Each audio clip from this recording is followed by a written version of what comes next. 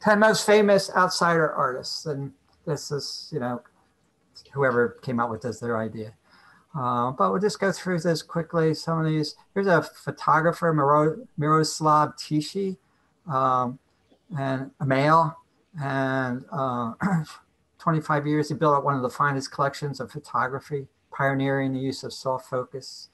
Um, as an example, one of his photos, uh, I guess lived early 19th century, 20th, yeah, early 19th, early 20th century, sorry. Uh, we're going to cover this next man, Henry Darger. Do you recognize that name, Fresh Day? I sure do. Because he's from Chicago. Yes. Uh, yeah, he was a hospital custodian, a janitor, and uh, strange person, uh, recluse. And, and it wasn't until he died and people got into his house they realized incredible collection of work. The, the Vivian girls, you'll see, he had a whole world going of, of these um, and storylines that were over hundreds of these paintings and drawings of the Vivian girls. Um, and there, there's some strange uh, possible sexual interpretations of his. We'll look at that more. And he also had like uh, a novel, uh, a, work writing in progress, 15,000 pages. You know, it's just, it's just this incredible outpouring. And nobody. I, uh, I saw an exhibit in Chicago. You did. Okay. Look at that. Yeah. Uh, the story of the Vivian Girls, 15,000 pages, the one of the longest unpublished works ever written. All right. So, but look at his in a little more detail. Uh, this one woman I love, Judith Scott. Uh, she does fabric art and she's Down syndromes. Uh, she died, but um, she was uh, born uh, twins. And when she, when they realized her twin is normal, but when the, her parents realized she wasn't, they put her in an institution. And it was a really horrible place. And her sister had such a bonding with her, the one who's normal, uh, for her. Uh, she used to go visit her, and then when she became an adult, she got she got became her guardian, and um, um, her her she was a nurse and lived in California. So she brought her to live with uh, uh, Judith to live with her, and then Judith. Uh, there's this great center in Oakland, Creative Growth Art Center for people with uh, mental disabilities, and they, it's just all about art. And so for the first year or two, Judith wasn't responding to any of the uh, art that was available to her. Then one day, a fabric artist came and did her workshop, and she just took to it. And then she is so well known. She's exhibited in galleries and museums all over the world. it's amazing. So um, this does this um, things like this and uh, variations that are just a real unique and original fabric art. Okay, so we'll take a look at her. She's, she's a sweetie. And then here is uh, Mary T. Smith from Georgia. And she's created her own uh, kind of backyard art. Um, she's compared to like a, um, a Basquiat in terms of the look of her art. And she turned her small house and garden into what she calls a highly public form of spiritual autobiography and um, she's gotten quite a bit of recognition too. There she is, and look at her. I guess she makes her own clothes too. um, I love it. Yeah. I really love it. uh, and then there's Vivian Maier. Uh, she worked as a nanny looking after. Here's another Chicago artist, uh, Chicago's North Side. She was a prolific street photographer, and she snapped everyday scenes of life in New York, LA, Chicago 150,000 photos for her lifetime. Okay. Um, but just did it on the side. I'm not going to feature her. And then uh, Adolf Wolfe. Uh, he was a Swiss born artist, sexually abused as a child, orphan from the age of 10, committed to a mental hospital institute for molesting children. He stayed there until 1895, from 1895 until his death in 1930. As a result of his unstable condition, he taught himself how to draw, and he became a pioneer in the in the, this outsider art. Uh, they're highly complex, beautiful. There's here's, I guess there's an example of one. Right. He'd be worth looking into. Um, Eugene von Bruenchenhain. Um, he's painting, sculpture, poetry, ceramics, photography, drawing. Real Renaissance outsider. Okay, he used his wife Marie as his muse he would construct elaborate stages to photograph her on. In his own home studio, he managed to create thousands of disparate works of art and completely unknown until his death in 1983. Um, Madge Gill, we'll look at her, uh, British Uh, and then she moved to Canada, and her drawings have her drawings and artwork. Have, she's considered one of the best outside artists. We'll take a look at her. Um, this would be an example of her work right here. But actually, the, uh, that's not a really good example. She has very complex, detailed drawings, uh, and her compositions are amazing. Um, George Widener is pretty well known. Uh, he's a strange guy. He was a, he's like one of those um, mathematical genius. He worked for the for this uh, U.S. military intelligence during the Cold War, and then he made and then um, he, believes his art will be needed for future robot leaders. he's really into time and, and, expressing dates and obsession obsession about dates. Uh, I watched a short documentary about him. Um, so here you go. You can see some sense. He's got he's got some. He figures out mathematically the connection between dates, and uh, he can just rattle them off. In this documentary, he's just rattling off these things. He's a genius in like one way. You know, one of those one of those um, people. All right, and then this man is extremely famous. Anybody out here, Howard Finster? Mm-hmm. Yeah, he's uh, from Georgia, uh, a preacher and he created um, paradise gardens in his backyard, this sculpture garden, and also uh, 46,000 pieces of, in the sculpture garden. And he also does drawings. He gained national fame in the 80s because uh, two, um, and we'll look at a short videos on him too. Short, uh, two big bands, REM and Talking Heads, featured his artwork on their album covers. you you may re recognize the uh, um, two bands I really like, particularly Talking Heads. So uh, I remember the album that that one's a hit. So that really shot him into fame. So Howard Finster is really well known. So those are 10 um, that arbitrarily chosen by whoever, but I think it was a good selection. All right, so let's just start with um, looking at um, do, do, do, do, James Hampton. Um, uh, James Hampton.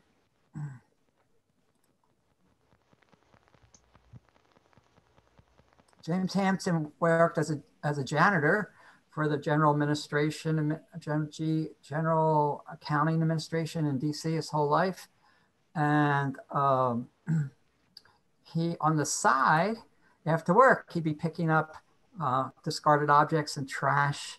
And he had some kind of a vision about some kind of mystical vision. And I've seen this work of art in DC. It's on permanent exhibit at the Smithsonian. So next time you're in DC, it's worth going to see this.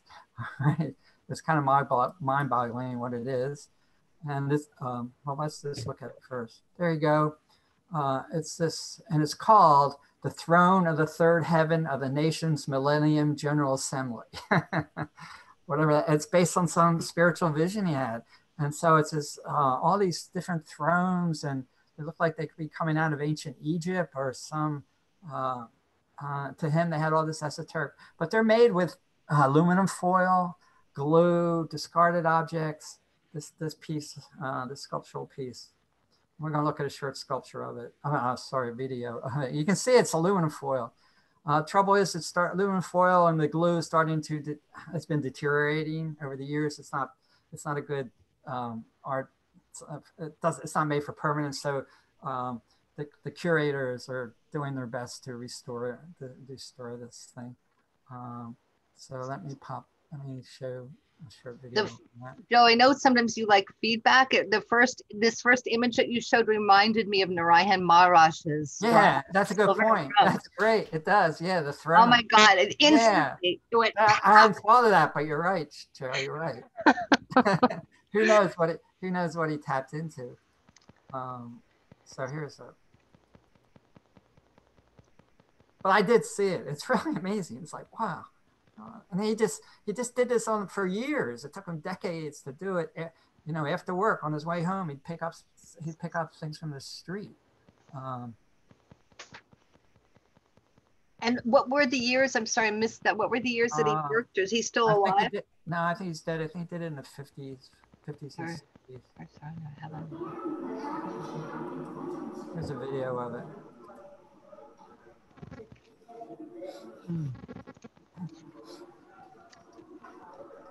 Is it life size?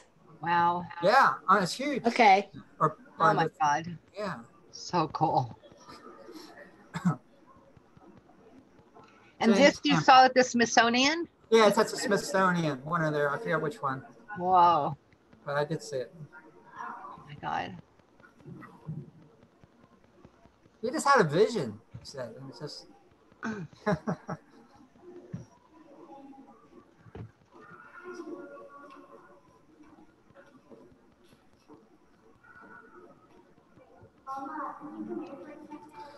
yeah, who knows? Maybe he tapped into the fifth plane or something.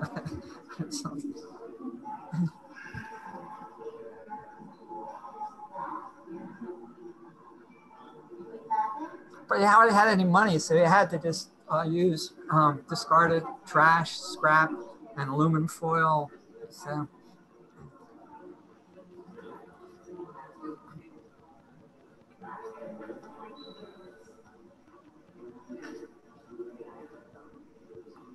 Well, if it was from a spiritual vision, then, you know, Baba said that the meditation of the West is more art oriented, you know, yeah, our meditation. So Yeah. that also just really strikes me with this, just right. incredible.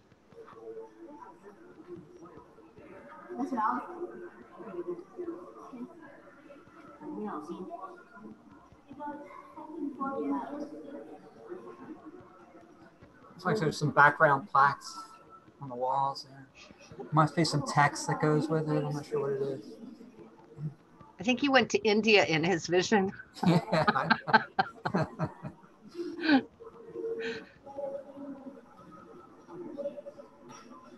So there's that. So uh, next time you're in DC, it's worth a visit to see that.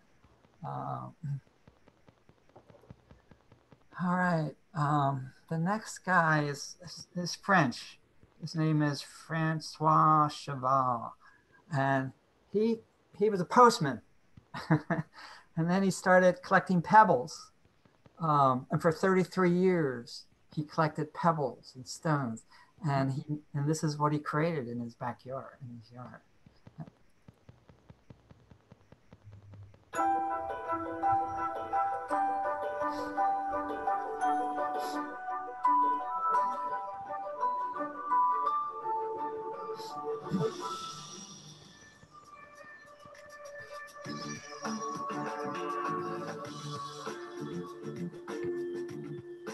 This isn't a temple in Angkor or a replica of the Sagrada Familia in Barcelona, but the Palais Ideal, an architectural masterpiece built in the heart of France's Drôme region. It's the work of a postman turned self-taught architect called Joseph Ferdinand Cheval. Cheval built his own myth. He really built an unusual monument that's so unique in the world. The surrealists discovered the Palais Ideal in the 1920s and 30s, and they all queued up to see it. From Picasso to Max Ernst, and from André Breton to Jacques Prévert, all the greats came to see it. Every year, 100,000 visitors come to marvel at this huge monument to eccentric forms. It's an unusual but captivating work that always grabs the attention of children. There are lots of different levels. They don't know how he built all these steps to get you upstairs. It's weird, mais tout ce qui est bizarre, but it's also really beautiful. This building is the work of just one man. His fascinating story is lovingly retold Looks like by uh, Raphaël Lambert. India, doesn't it? Every day, he would walk 33 kilometers on foot to deliver all the letters and parcels to the houses in Hauterives. Say that again. It's like who? It looks like uh, sculpture the work in, it was done in India. It looks like Indian architecture. That's true, too. in India, Cheval right? began construction of his palace Somewhere. in 1879 after stumbling across a stone during one of his rounds. He tripped on a stone. It took him 33 years in total to design and build his palace by hand, a building that would eventually measure 26 meters long and stand 12 meters tall. Cheval had no artistic experience. He was a stonemason and he wasn't an architect. He started out as a baker before then becoming a postman. He taught himself little by little the skills he needed to build this monument, gradually building it using the materials he had to hand. Working by candlelight late into the night, the postman slowly erected his masterpiece, stone by stone. Very dapper. A series of tragedies, he carved his fantasy kingdom in his garden, the expression of his dreams and of his nightmares. His inspiration came from the surrounding nature, but also from distant lands. He reproduced a Hindu temple, Yeah. a mosque, No, look at that. and buildings from the colonial era. Here, there are lots of Oriental details, like, for example, the palm tree and the shellfish. He would have got all these references from the postcards that he delivered in the area. It was that that allowed him to see the world. The postman wanted to be buried in his palace, but the local authorities flatly refused to let him. So, at the age of 76, Joseph Ferdinand Cheval embarked on another construction project, building his own tomb in the village cemetery, a structure very much in keeping with the style of his palace. It's a fragile monument that the sculptor Pierre Constant and his apprentice Julien work hard to preserve. Here we can see how the postman worked. There, I think it's just a piece of wire. The final form is achieved by shaping the limestone around its frame. That's what makes it flexible but also fragile. Over the years, the wind and rain have taken their toll on these sculptures. Pierre Constant comes here regularly to remodel them. It's a tricky task made more difficult because Cheval left no notes or tips on how he built them. Every touch we make to restore the tomb is a serious one because we're working on a piece of art here. There's a way to master the shapes and volumes. Ferdinand Cheval had a sculptor's soul without ever going to art school. In buildings and monuments, there are often references, but when it's a personal work, those references come from deep inside. So it's very personal, individual expression. Pierre also works on the upkeep of the Palais Ideal. Back in 1983, he took part in its first restoration project. And even after 33 years, he's still amazed by the postman's achievements. When you see it like this, it looks as if it appeared here by magic, but not at all. It's called talent, and it's not a game of chance. In 1969, France's then Minister of Culture, André Malraux, decided to list Cheval's work as an historical monument. It's a structure that's often compared to the work of the famous Spanish architect Antoni Gaudi. The link is often made between Gaudi and Cheval because there are some disturbing similarities between the Palais Ideal and the Gaudi Park in Barcelona with its crooked columns. Yeah, there is. But whether Gaudi saw photographs of this palace and was influenced by it, or if it was the other way around, we'll never know.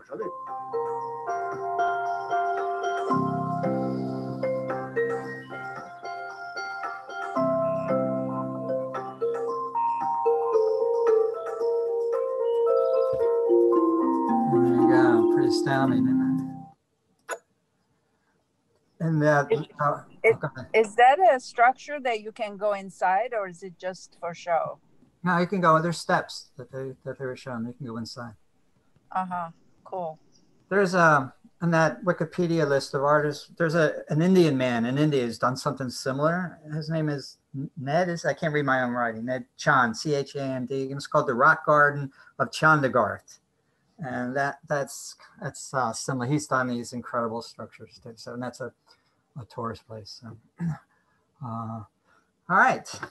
It's amazing he did it by himself. How could he have done all that? It's hard to believe. Um, James Hampton. Um, And having day jobs, all of them. having a day job, right? Exactly. Yeah. James Hampton. He's he's one of my favorites. He's a sculptor. Sculptor. Uh, come on. Why isn't this opening?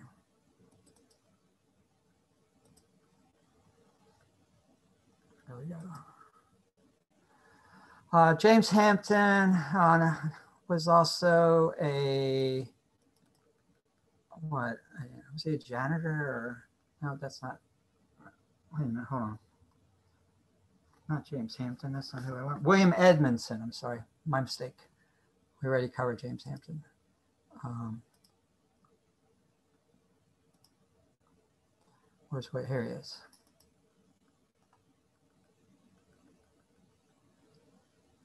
William Ed- Edmondson, that's him. Um,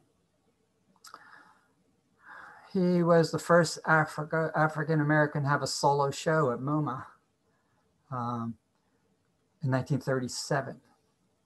All right. Pretty amazing. He was born in 1870s in Tennessee, the son of freed slaves. No formal education. All right. Here's an example of two of his sculptures. Um, brilliant, brilliant. I mean, he's influenced um, modern sculpture. Sculpture, you can see the influence, and and and incredible forms and. Um, and they remind me of it, some ancient stone sculptures you see, like matriarchal sculptures going back. Like he's, he, he must have been a sculptor and he just tapped into this. All right.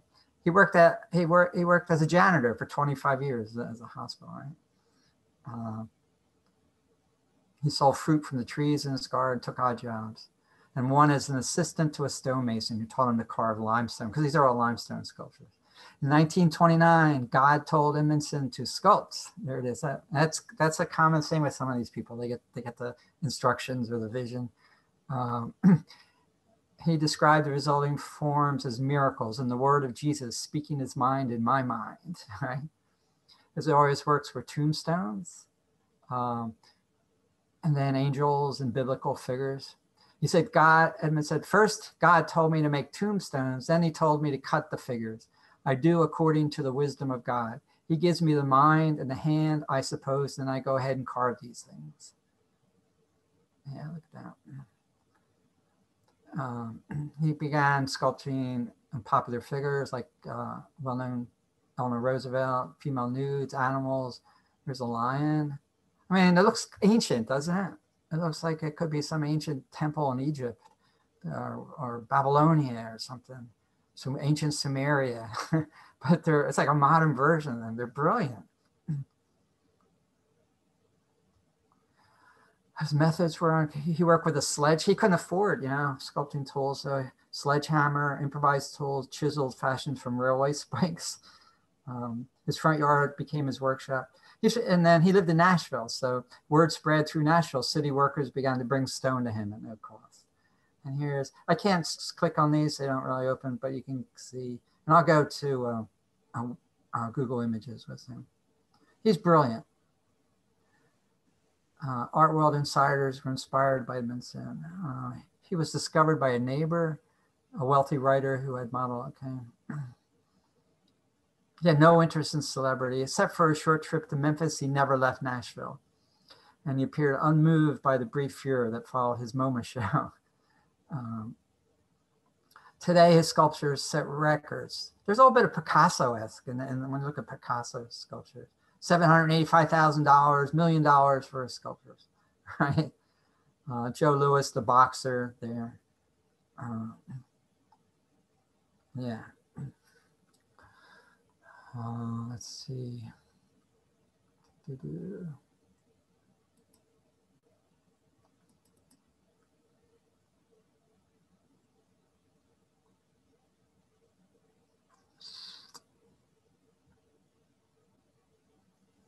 From running low on memory here. Got too many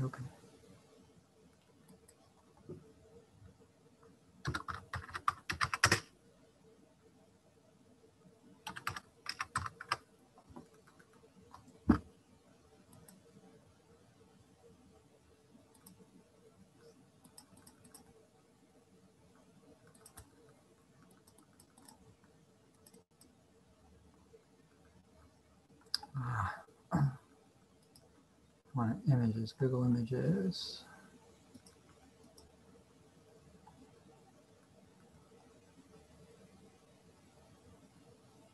Yes.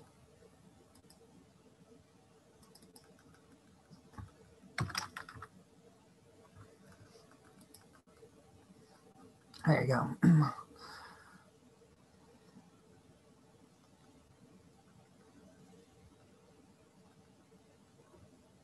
Any comments on it? On yeah, he himself has an architectonic face. Look at that wonderful. Yeah, he does. Yeah, exactly. Yeah. Oh my God, that's fantastic.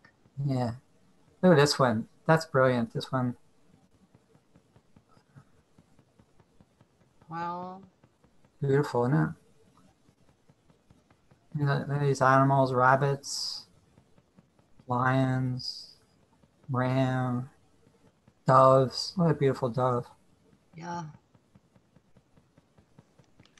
They, they look ancient and modern at the same time. Yeah, time. exactly. That's why. That's what I think.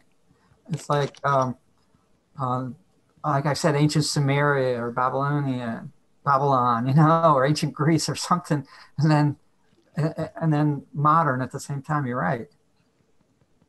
They have a, a simplicity, substance to them, but just beautiful forms. Um, incredible. There he is.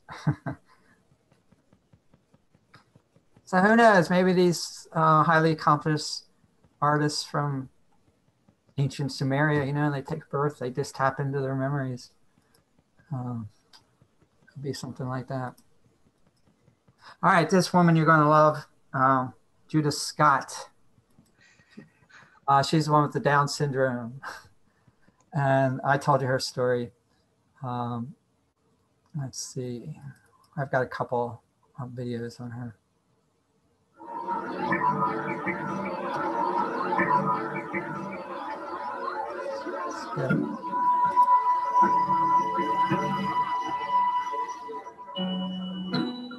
She is known around the world now. Yeah. I went to a show, an opening for her work in Switzerland in October. Uh, there was also one in, in Tokyo in the summer, in July, and she has another show opening in New York in March.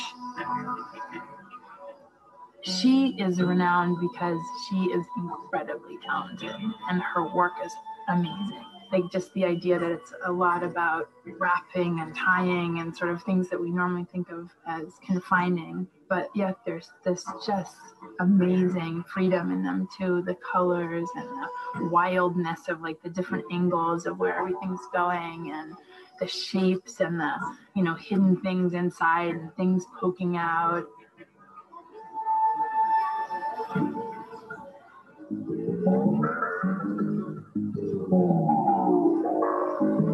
This is a uh, trailer for a full length documentary. There she is. I think they'll show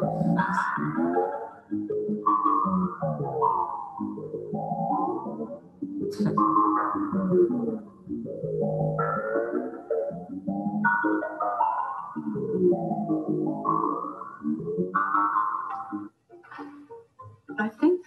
our mother and father decided not to talk to me about it um, because I would be upset about Judy being sent to the institution. I woke up one morning and she was gone. And then going to see Judy, it was very frightening because the institution was um, was like something out of Charles Dickens.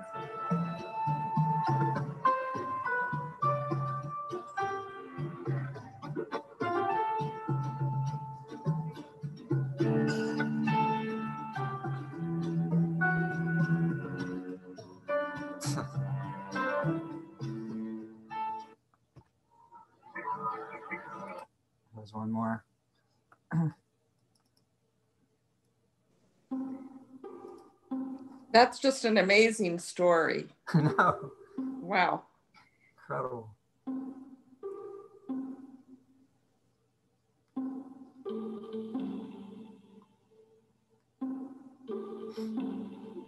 We're at the Oak Grove Gallery's Centennial Square location at Judith Scott's exhibition. When you're looking at the works like Judith Scott, you see that you're immediately drawn to it because of the colors, because of the detail, because of the combinations of colors and the strange shapes.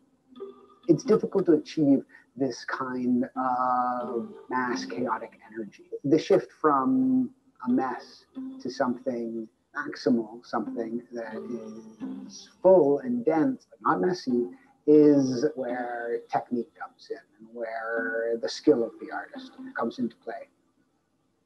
With these sculptures, there's a kind of tension bound up, literally bound up in how they're constructed.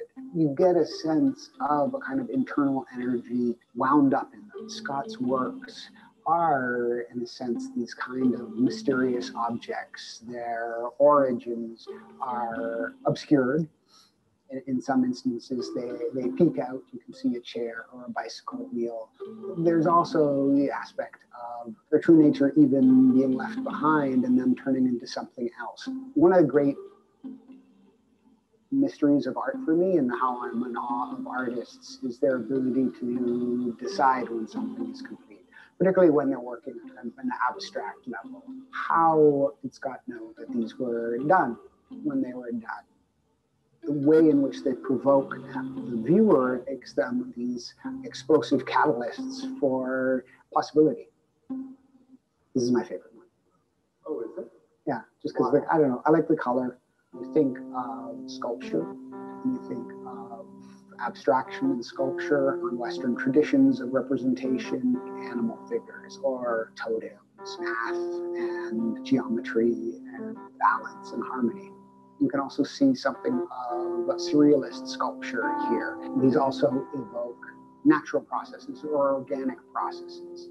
The danger with focusing on technique is that you focus on it exclusively, and so it's just a matter of look how incredibly difficult it was to create this thing. You're not simply just looking at the surface as this kind of, you know, boom, there, I'm just done, I wound it up. But choices are being made here. You're working in unconventional ways. You are open to a criticism that you have no technique, that there is no skill here, that anyone can do it. The answer to that is in part, well, no one else has done it and that, that she did it in this unique way. We do consider the ability of an artist beyond technique. It's that kind of ability to see something in a way that hasn't been seen before. And when we talk about ability, too often it's the inverse of disability, and disability being an inability to follow a certain set path to be able to walk up some stairs or to complete a particular task. But what we find in artists is that rejection of that certain set path or that expected outcome and opening up possibility. So the thing that's unique about Judith Scott is that she had Down syndrome. So how this factors into our assessment of our work is perhaps a good question or maybe no question at all.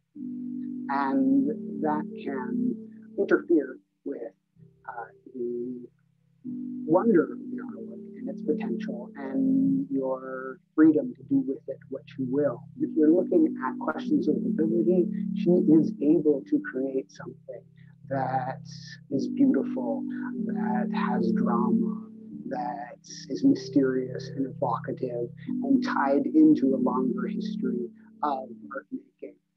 That's what you see here, and the evidence is on the table.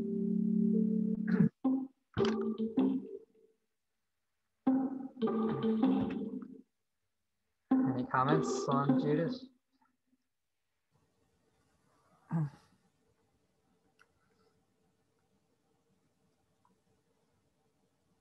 Um, it's amazing the reception she's received. Like I said, uh, she has shows all over the world and is represented all over the place. It's incredible.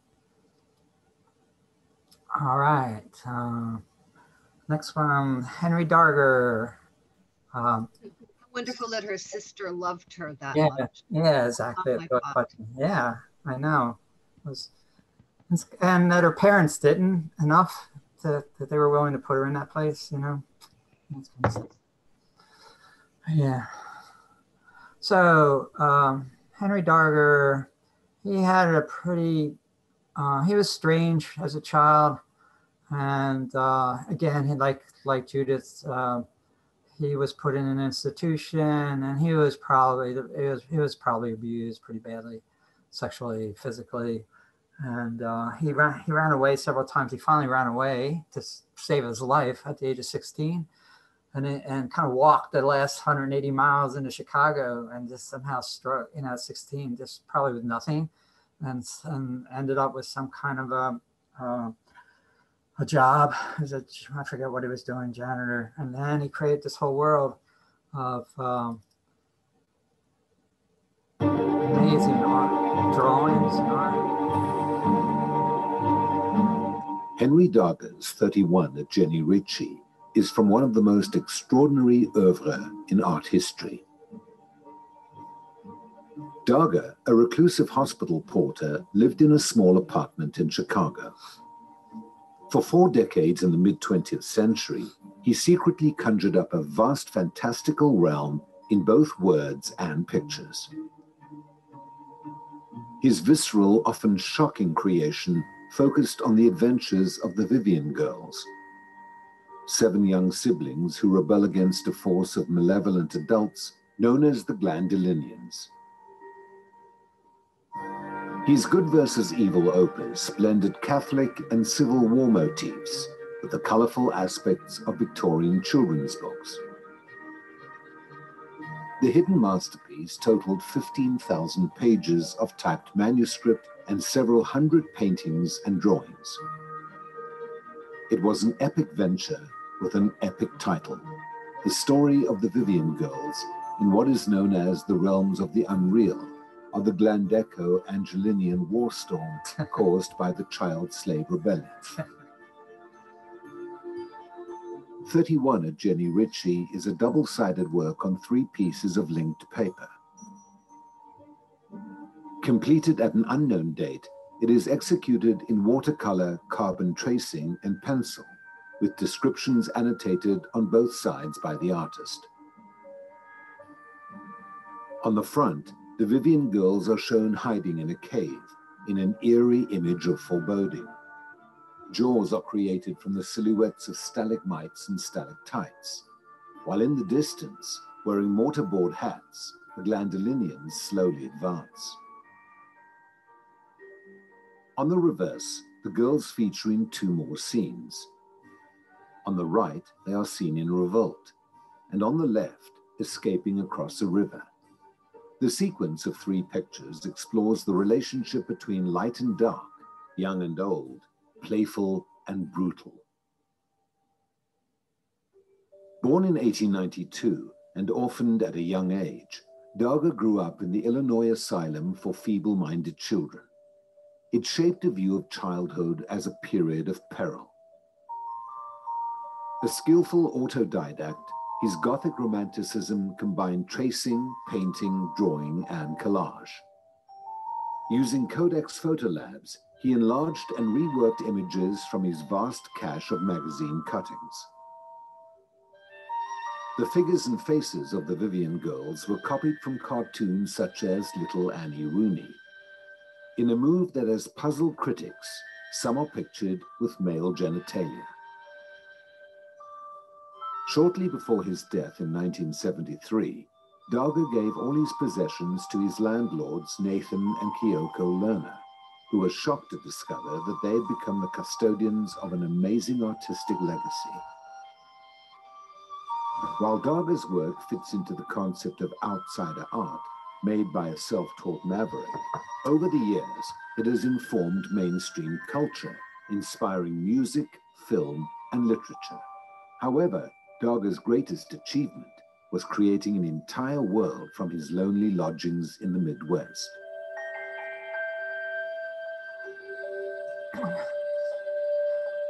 What was that? Four hundred thousand dollars. Sotheby's. One more. It's just the same one. Hold on. Oh, did I have two of the same? Sorry. Quickly conjured up a vast, fantastical. Okay, so I have two of the same. Didn't realize that. You know what first hit me was the tapestries, the medieval tapestries. Yeah, that's right. yeah. Uh, I mean, just I didn't know that those were girls.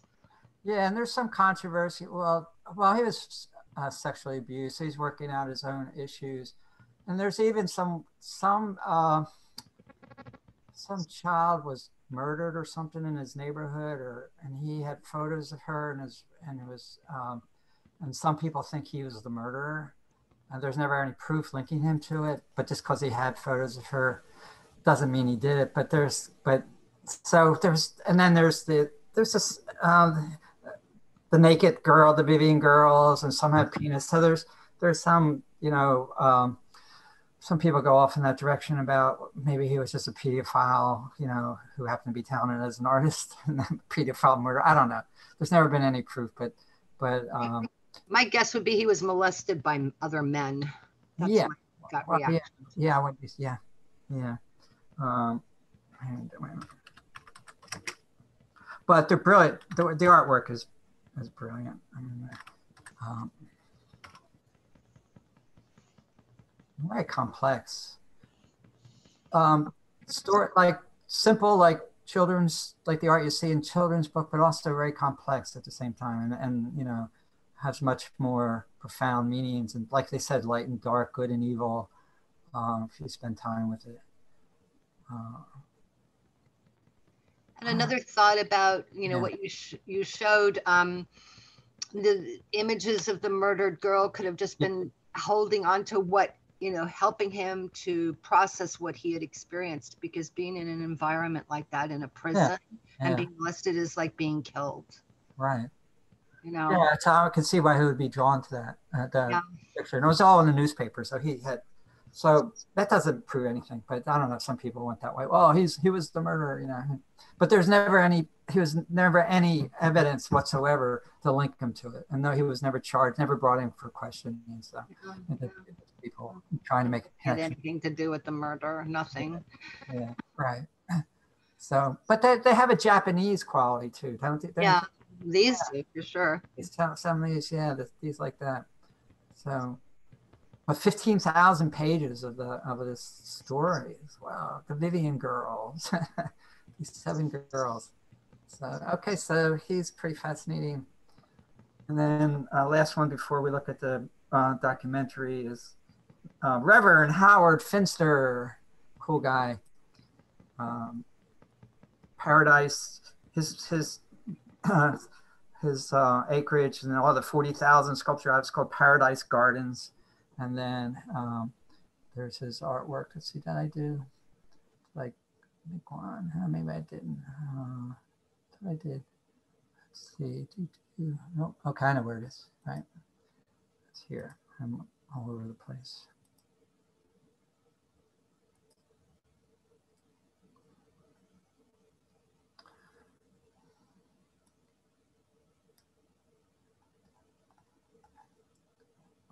Howard Finster, Howard Finster. There is a magazine, I think it's called a um, online magazine called Outsider Art Now. And contemporary, there's people who are alive and are being shown um, contemporary outsider artists. So there's that. Uh, Henry Darger, Madge Gill. No, I guess not. All right, so we'll, I'll just go to um, um, Google. Of here.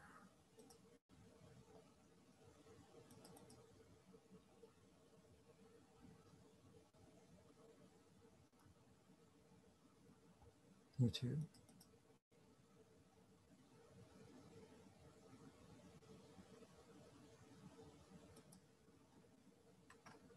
Howard Finster's really well known, um, probably because of the Talking Heads and uh, the other group.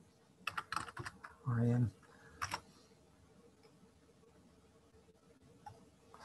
I should want him talking. Let's see. Yeah, here it is.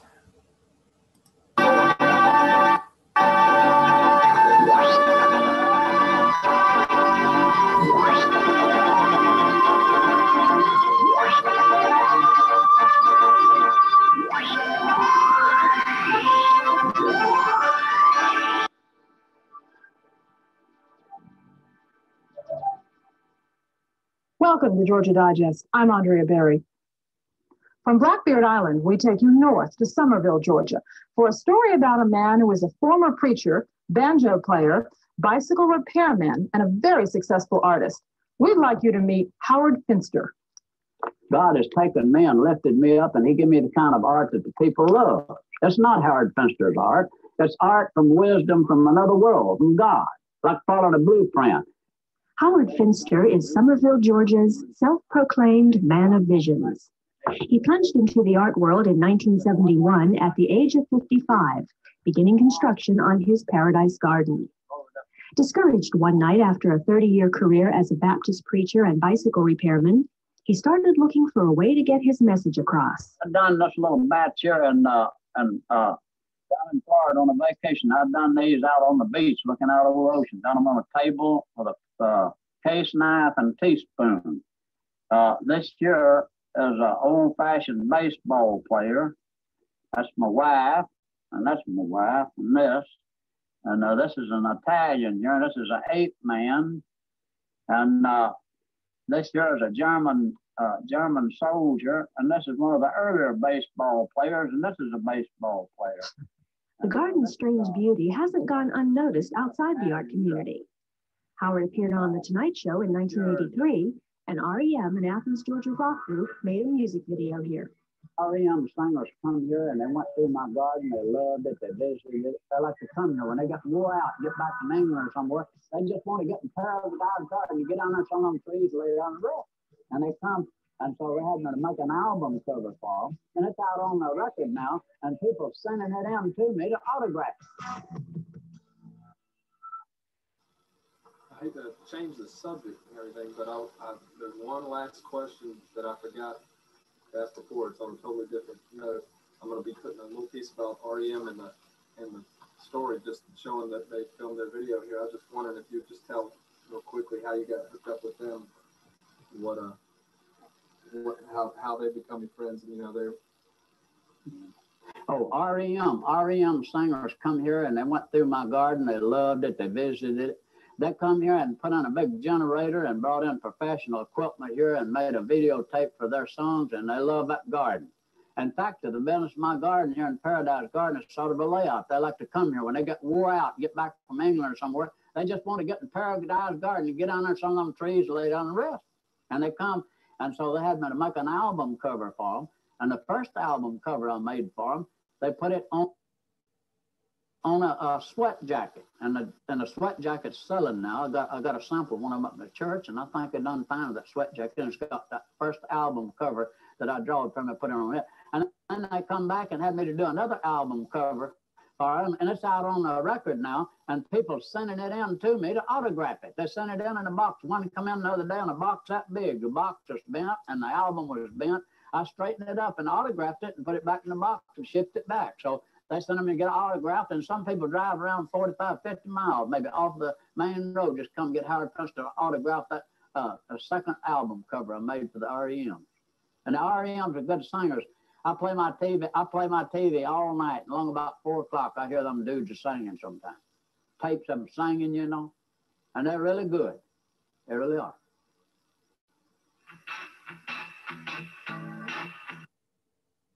All right. I love Howard Finster. um, so itchy, scratchy, family not getting clean. Let's see if we can just look at a little more in uh, Google Images. Um, I'm, I'm there already. So before we look at the documentary, just a minute, see what his backyard really look like.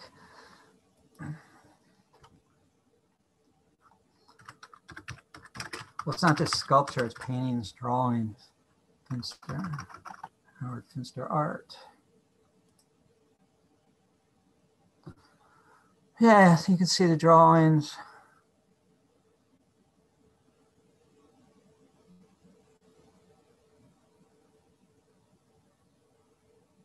They're complex, a little bit like Basquiat in a way, like a southern if Baptist, if Basquiat had been born a Southern Baptist preacher, he might have done this kind of art instead of being born a Jamaican in New York City. uh, it's biblical.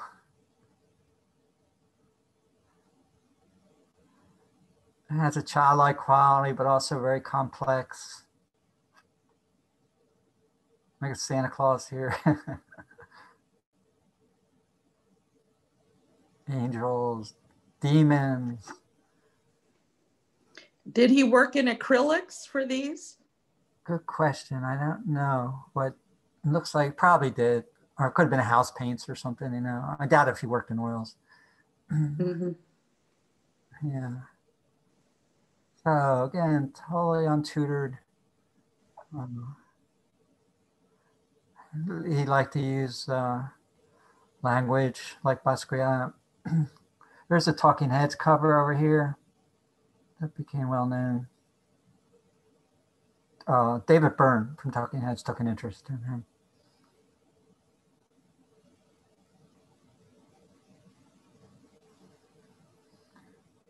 Yeah, and there's a little bit of uh, Marc Chagall in a way.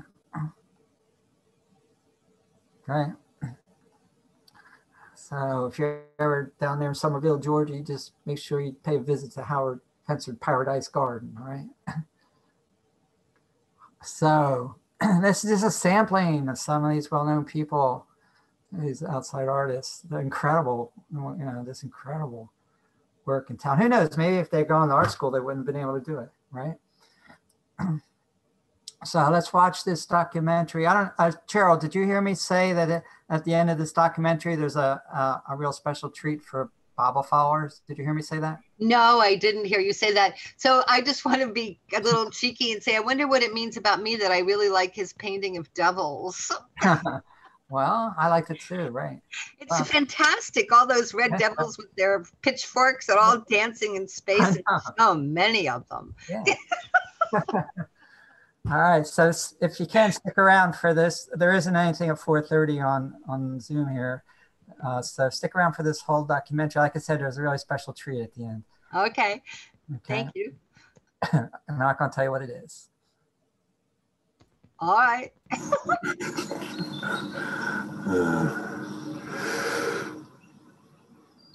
God, I don't know if I could even answer anymore. What is outside art? Um, basically, outsider art is. No, I can't go start again. What is outsider art? I don't know. You got me. I've been trying to figure that out. Um, I've certainly been called worse things in my life than an outsider artist. Is that somebody that is working outside? You know that. Uh, uh, doesn't mind if it rains or something. And that's plein air, not outside. That's that's what uh, I would have said. You know. uh, in fact, I was a bit of an outsider artist. I was over on a bench over in Hyde Park, uh, laying low from the cops at night, uh, doing drawings and such. What, what do you mean? Well, I mean, uh, do you feel like an outsider? Well, I suppose so, but I mean, but what does an outsider, what does an insider feel like? uh, what do you say, Danny? Outsider art. Uh, outsider? I don't know. Maybe it's for different planet represent for me. Outsider. But whatever you call it, when you see it, you know it. You know, you're looking for things that make you go, oh my God. And that's outsider art.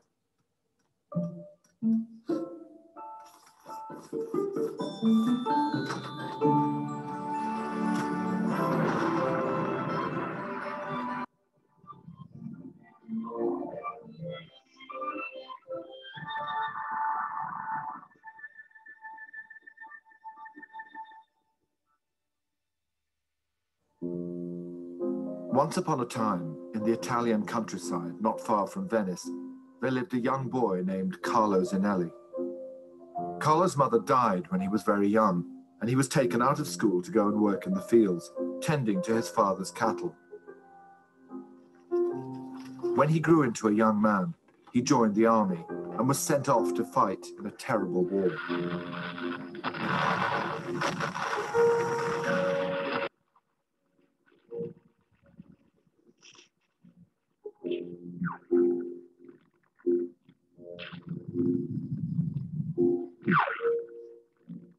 He returned after just two months, and anyone who knew Carlo could tell that something was very wrong with him. He behaved strangely and refused to utter a single word.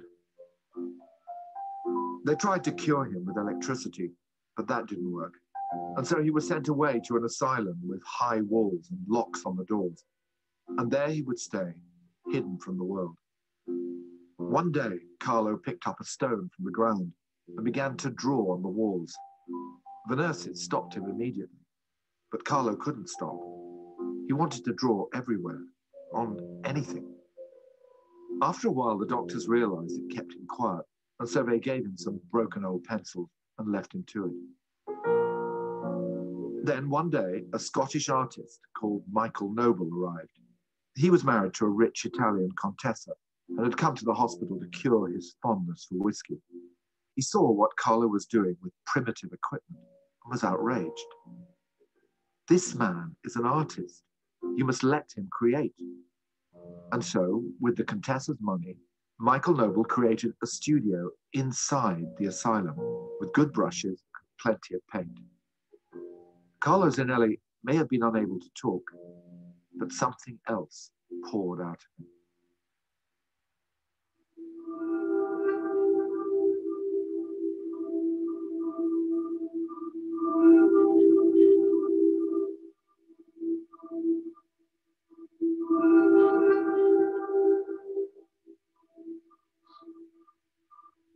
Floodgates opened. Carlo spent eight hours painting every day, completely engrossed in his work. By the time he died, he had made nearly 2,000 paintings.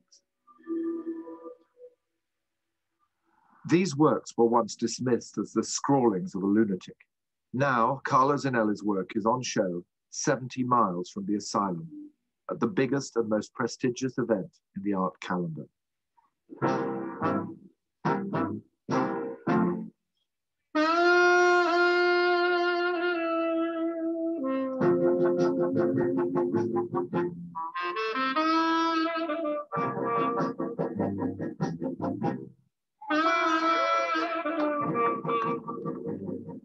It's early summer, and the Venice Biennale is just beginning.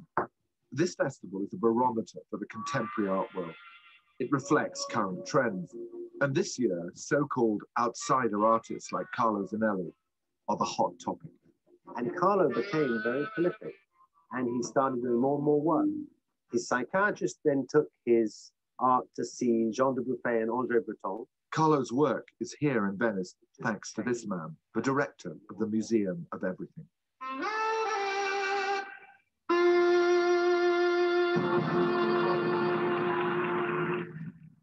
The crosses there upside down must be the graves of the soldiers. And that star um, is the star of the Alpini soldiers, which he was conscripted. And you see that star everywhere. everywhere. I think there are all kinds of riddles hidden in there, but I, I think they're just for him. From what I know, he didn't care. The minute he finished one, he sort of threw it away. And the nurses and doctors would grab them up, and quite a lot of them would make their way into their homes. But what happened to this work in the in the interim? Generally speaking, Carlo's been curated by and for, let's say, the outsider art brut audience, and that's why it stayed this sort of um, secret, I guess. Well, that secret is now well and truly out. The keynote exhibition here is the Encyclopedic Palace, where self-taught artists rub shoulders with big names from the contemporary art world. Have a look at these. They were made by a 38-year-old man with absolutely no artistic training. This man saw visions and heard voices. In private, he induced hallucinations and then recorded everything in small journals, a process he kept up for 16 years.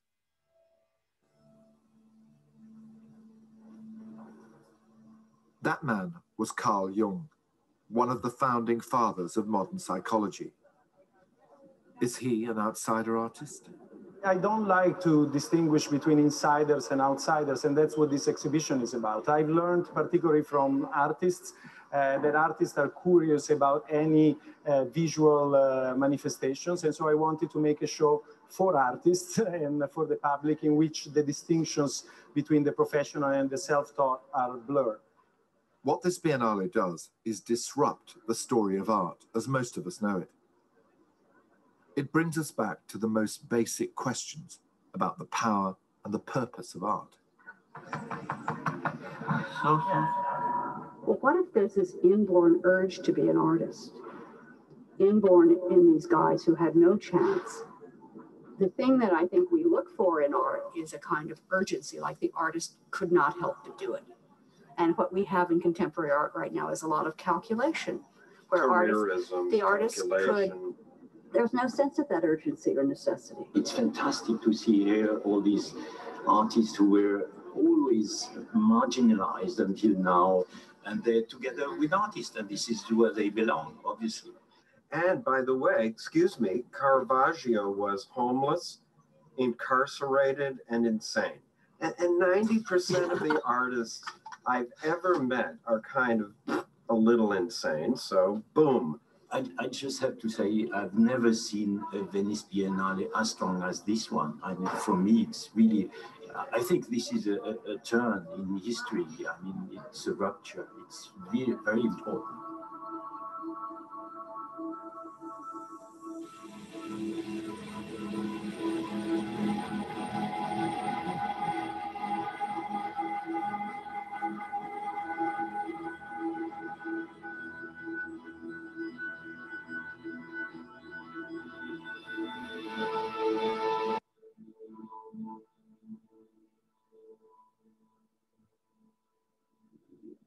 Some of the best work in Venice is by an outsider artist called Shinichi Sawada. The young man who made these strange and wonderful creatures works in almost total isolation at the top of a mountain in the backwoods of Japan.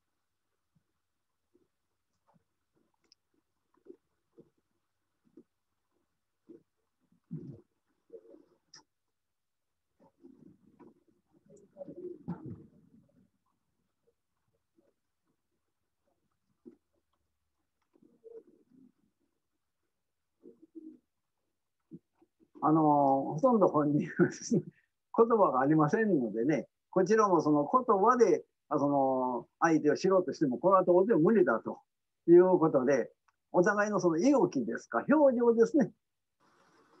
表情でお互いに感じ取ると。それしかないですね、今は。はい。だから毎日ですね、一緒にこうしてですね、付き合いを、お互いに付き合いしてませんとね、ということなんですね。あの、実のところ、それが分かればですね、いいんですけど、私自身も一緒にいてて、もうまだまだ分かりませんですね。ただあれが出てきたというのは、こちら教えたわけでも何でもないんですけれども、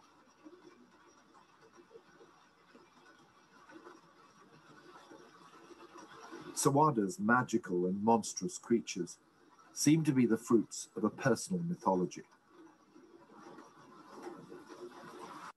Kaiju.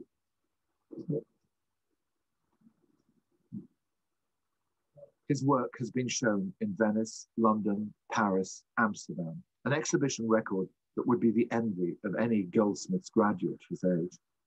But unlike those graduates, Sawada isn't engaged with the art world, the merry-go-round of dealers, openings, and endless networking. His autism means he is unable to engage with it. Why does he make these things? It's not for profit, certainly not for fame. Where does this urge to create come from?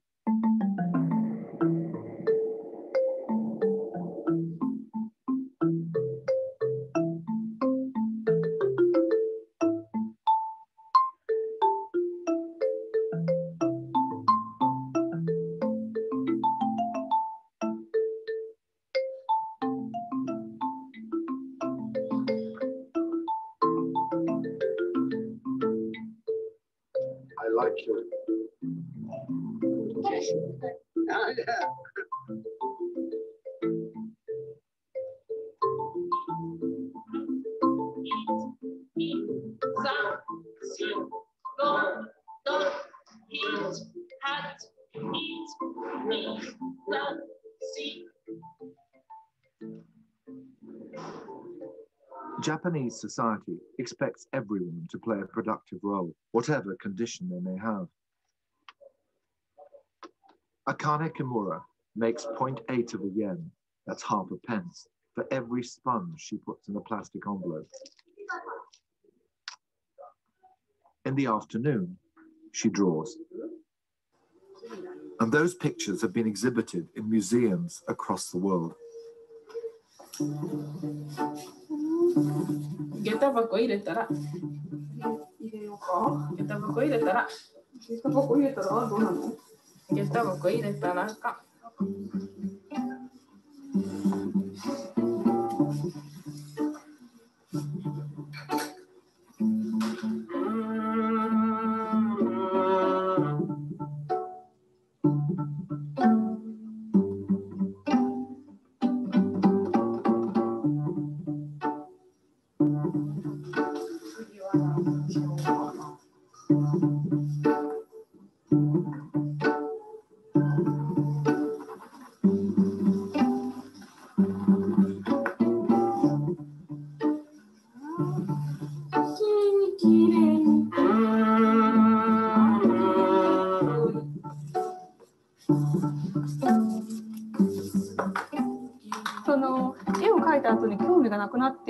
は描いている瞬間をすごく楽しんでいるっていうことだと思うんですよ。でも描き上がった後それがこう人に認められているとかそれそれに価値がついたとかそういうこと自体には多分ご本人さんは興味がないんじゃないかなと思います。This is Nobuji Higa. One day, he was given a book of coffee table erotica.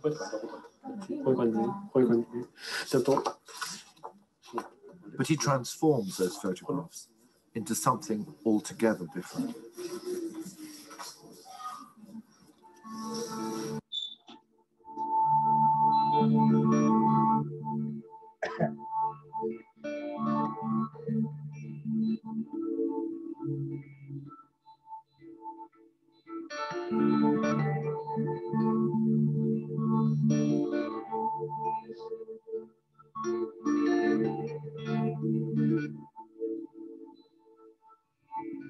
ちょっとだったけど、なんか評評価も、ちょっとはありましたけど、評評価、なんか良かった。良い評良い評評価も。なんか女性の、あれ、ちょ結構不なんで、なんか女性、ななんか結構なんなんか、なんか言われるかなと。だから、うーんいや、そういうことも批判があった、批判が批判があるかなどうもならなか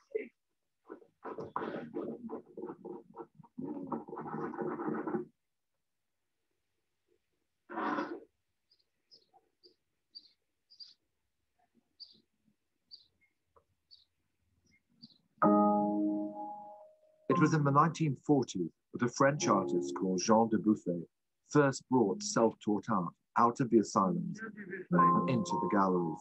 Dubuffet christened it art brut, a legacy of his days in the wine trade, where brut means raw or unsugared. He was interested in the lack of sophistication of the work, which he saw as its purity. For him, a spontaneous outpouring from the wellspring of creativity was the mark of true art. Cet art-là me paraît à moi le, grand art et le, seul art véritablement authentique, véritablement créatif. Ce que j'ai recherché, moi, ce sont des formes d'art étrangères à la culture et euh, délibérément étrangères à la culture. Dubuffet toured asylums in Central Europe, hoovering up work and creating an alternative canon of art brut. He discovered people like Aloïse Corbaz, a Swiss governess whose imagined affair with Kaiser Wilhelm II led to an erotic outpouring of drawings, collage, and murals. Or Adolf Wölfli, a schizophrenic goat herd and laborer who produced over 25,000 pages of drawings, literature, and music in his own inventive notation, all of which he signed St. Adolf II. Dubuffet often had problems finding art because the hospitals rarely archived it. The psychiatric world didn't fully appreciate the value of what their patients were making.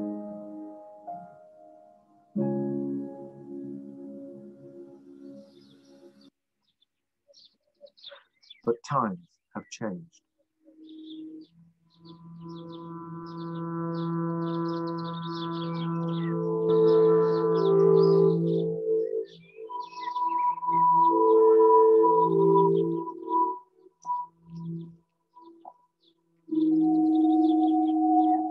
Here in the forest north of Vienna lies the Art Brut center, Gugging. Gugging is famous for its house of artists, home to 14 psychiatric patients who've been plucked from the Austrian system thanks to their artistic talent.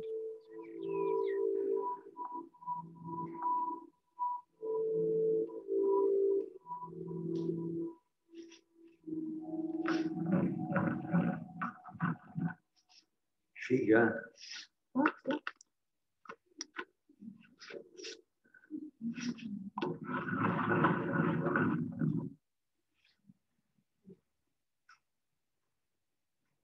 Unlike the day centers of Japan, these artists live here full time. There is no obligation for them to make art, but still, it pours out of them.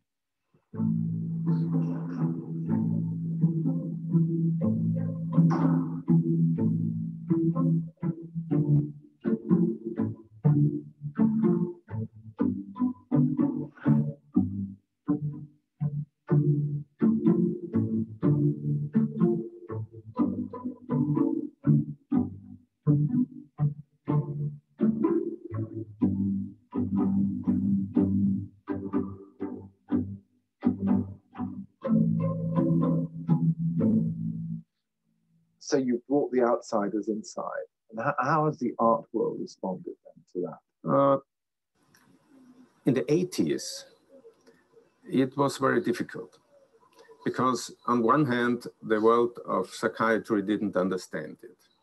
And on the other hand, the, the art world saw this experiment.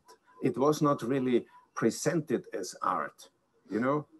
Uh, so, what I wanted to show is that also single pieces of art of every good upright artist has the same worth as any other piece, single piece of any other kind of art.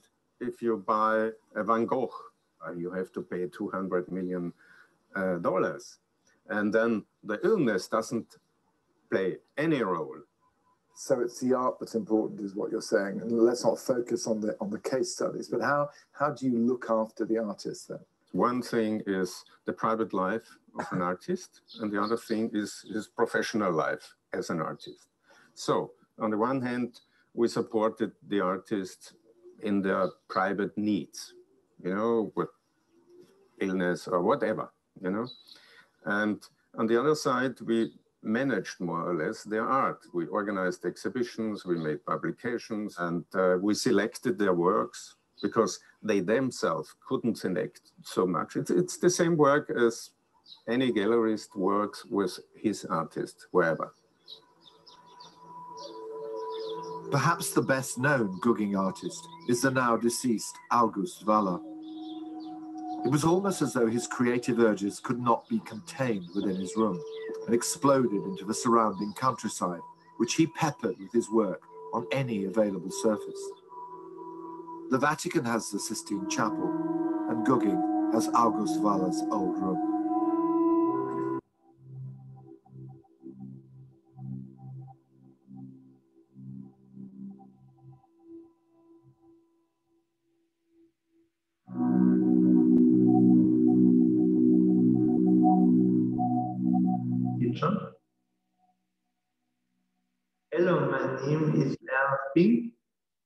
Came of Klosterneuburg in the village Weitring. ich mal schon seit zehn Jahren hier und es, meine Bilder sind schon, waren schon zweimal in Tokio in Japan, zweimal in New York, einmal, dreimal in Paris. Come, I show you a picture.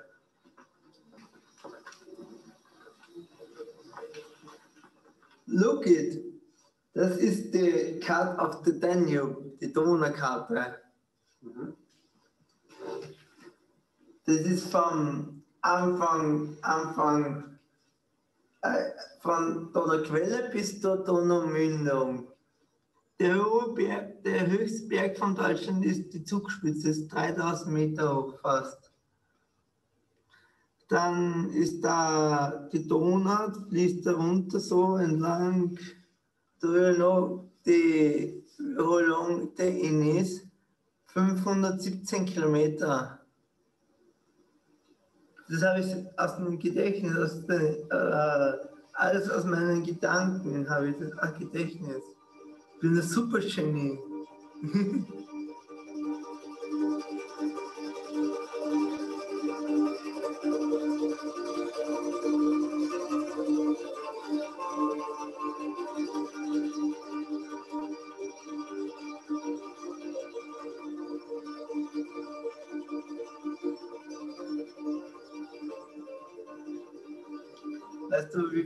wie viel Euro ich bekomme für so ein Bild? 6600 Euro. It's a lot of money. I see we have these images of the artists on the walls here. The fact that you're selling and exhibiting this work pretty successfully, what impact does that have on the artists? It depends on the artist. Johann Garber is very aware of who he is. I know we went to Basel to an exhibition in, in a gallery there and we had to fly with the airplane. And then he asked me, Nina, could you please carry my luggage?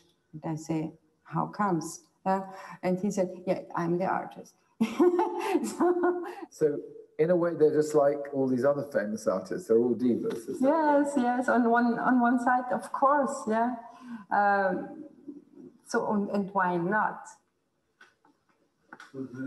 Zio, that's my picture, my picture. My my picture. That's all. That's all. Wie viel außen? Ich schon. Nein, das ist ein einer. Das außen, das außen. Das ist ein Ich glaube, ich bin großer Künstler. Ich bin ein Zimmer hier. Mein Schafzimmer hier. canta, depois olha de passos e mais. Pessoal, vestia seu. Grau doçura. Hallo. Schöne Doçura. Da prima. Schöne Doçura. Da prima. Da prima. Da prima. Da prima. Ja, nehmen wir den Pinsel. Ja, da haben wir noch zwei. Ja, da legst du her. Dann hole ich das Ding. Ja. Das ist hier, gell? Das hier. Wo ist der Kopfball? Wo ist der Hirn? Wo ist der Hirn? Das hier drinnen. Machst du verschiedene Sachen.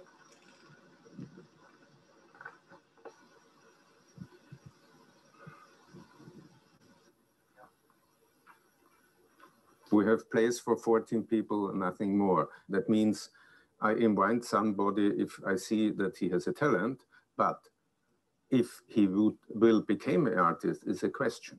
You never know. You know, it needs time. Sometimes it's very easy. Sometimes it uh, needs 10 years. Sometimes it never will be. You're a very patient man.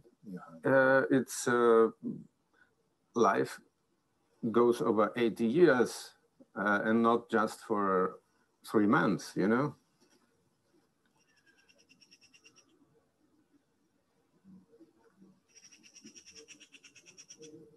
This is Gunther Schutzenhofer.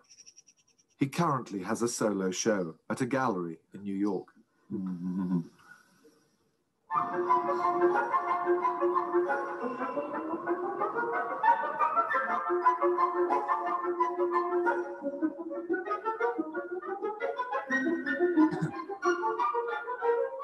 I love his work because it doesn't look like anything that I know after doing this for 35 years.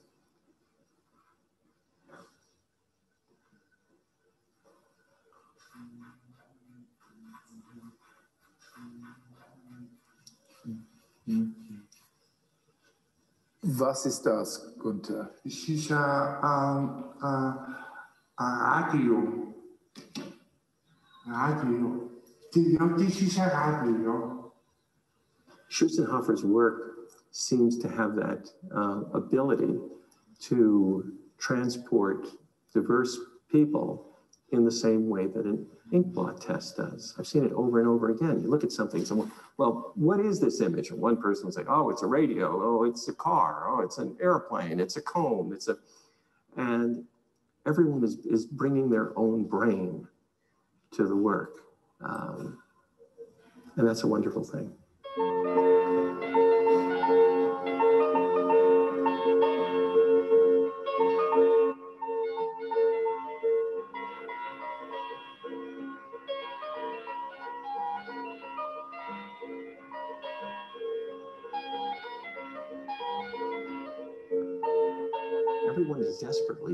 To put outsider art into a nice, neat little box. And it doesn't really fit in because it's something that happened independently.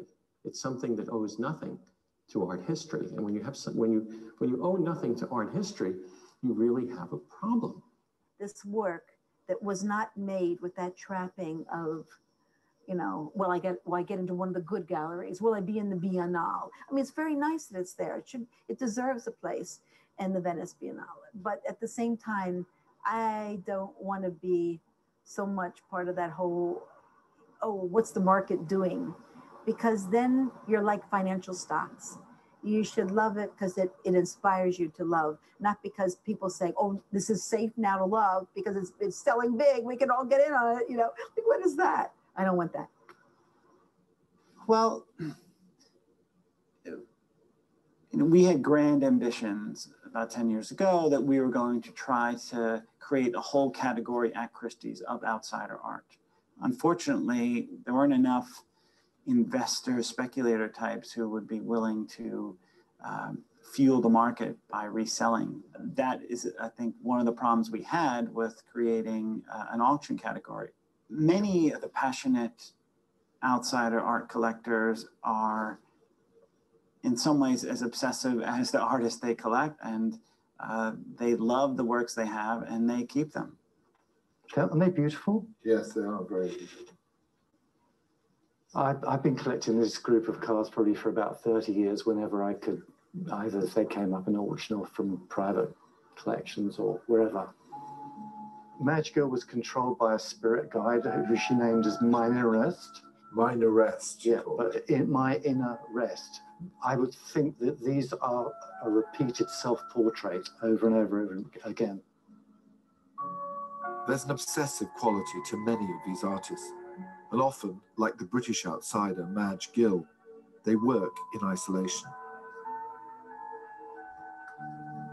Where professional artists forge their creations in a dialogue with art history, the outsider is engaged in a monologue.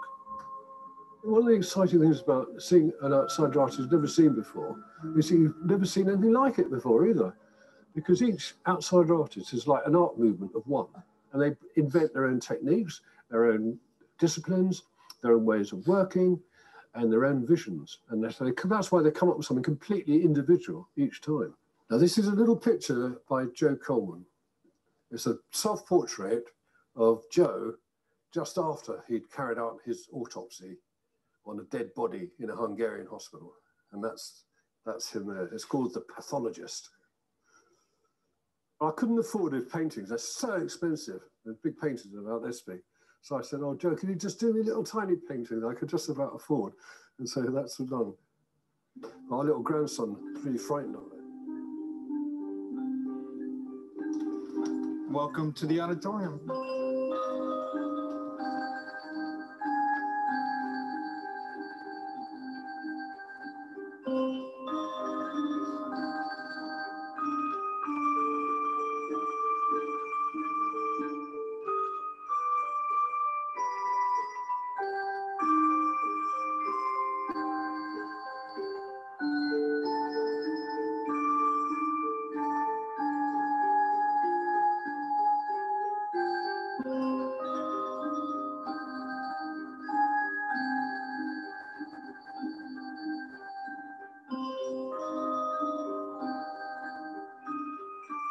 I got kicked out of art school, and then they asked me to be an advisor many years later after I had a certain following at that point.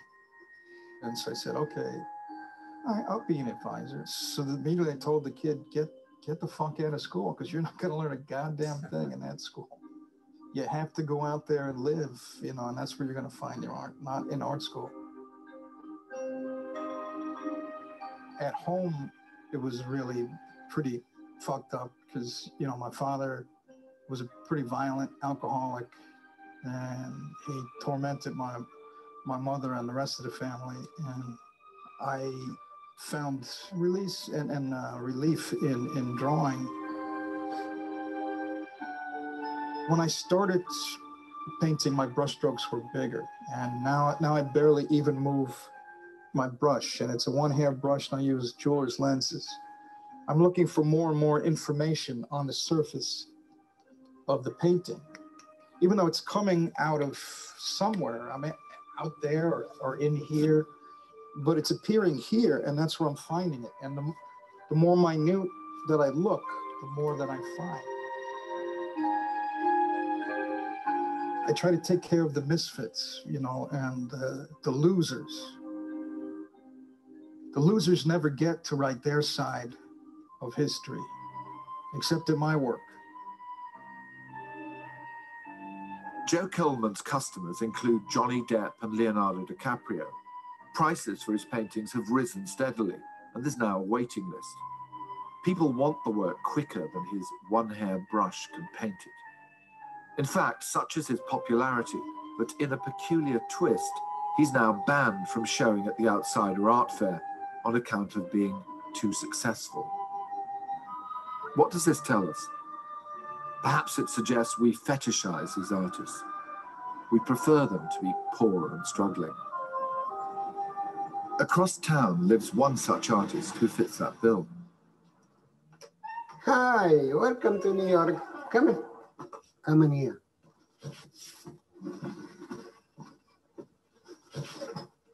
Yeah, now you can do. It's okay?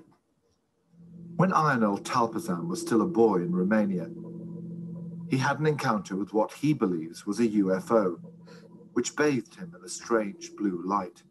His life's work is an attempt to make sense of this. This is uh, my spaceship UFOs. I work many size.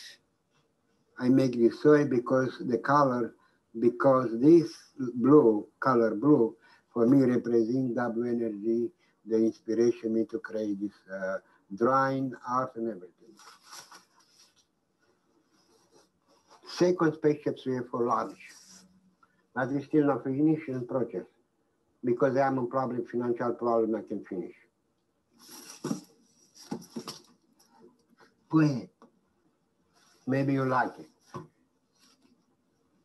All my art I do, uh, I, I do experiment. Look at the a lot of, lot of material. I broke a lot of things, a lot of canvas. The artist is like an astronaut. With the mind, you can travel entire universe.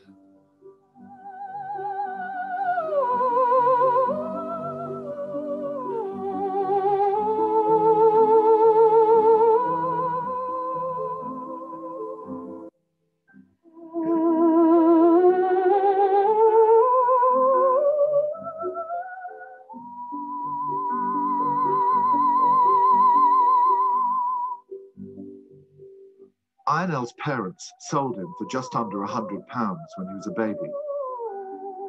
As a young man, he took drastic measures to escape the Ceausescu regime and swam the Danube from Romania to Yugoslavia, eventually finding refuge in the United States.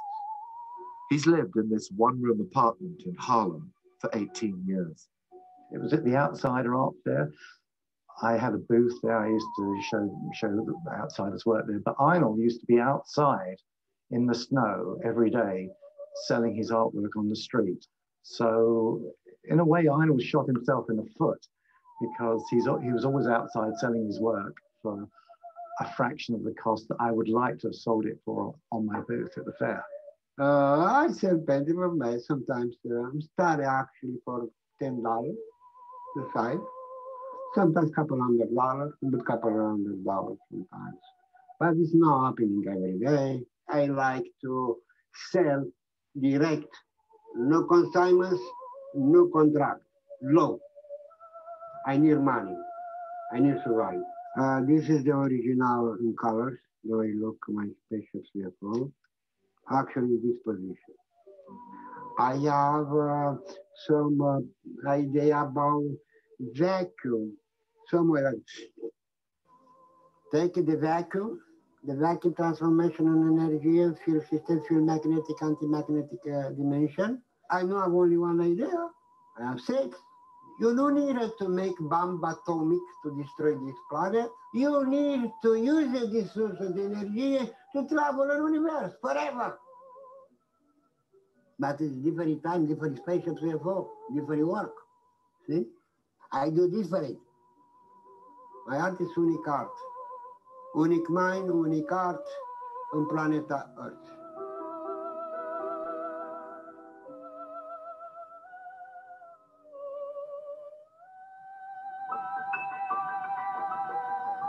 Ionel may be ploughing a lonely furrow, but then again, they all laughed at Christopher Columbus when he said the world was round.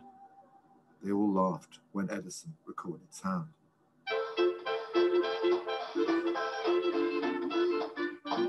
The alternative guide to the universe is brimming with mavericks. Self-taught artists, unlicensed architects, fringe physicists, and visionary inventors. Hayward Gallery director Ralph Rugoff treated me to a private tour as it was hung.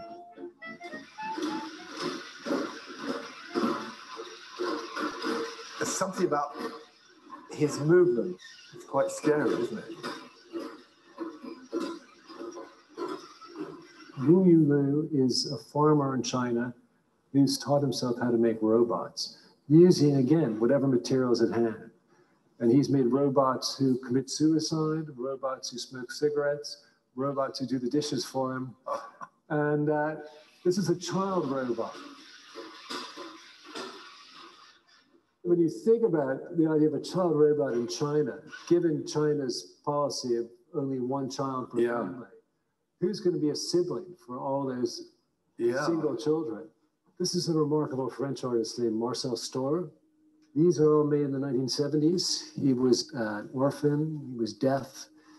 He worked as a street sweeper in the Bois de Boulogne, and he would go home at night and make these incredibly intricate drawings. And these were cityscapes he called megalopolises, and this was his blueprint for the rebuilding of Paris, which he was convinced was going to be destroyed in a nuclear attack.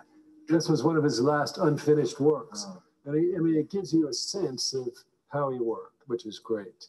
Incredibly detailed, the painstaking, elaborate lines that he's drawing, where they're so small, I can't even see them with, it, with my eye anymore, you know?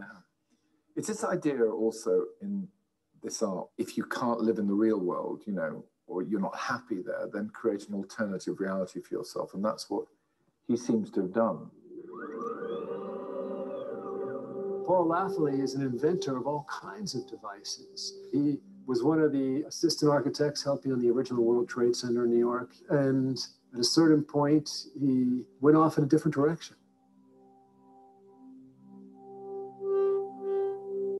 It's good to be unknown for a long time because then you can actually you know pump up what you're doing and make it in into a format where they they can't destroy it.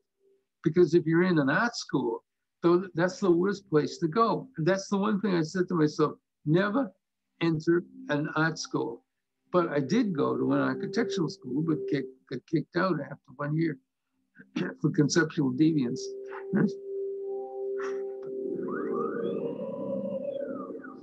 Came up with plans for a time machine where your body doesn't travel through time. You're just able to see what different times look like. Mentally, you can project yourself. Yeah, I mean, but Stephen Hawking said we'll see a, a time machine in the next 50 years. Laffoley says he had an encounter with alien intelligence that changed his life. and that directed him to make this painting.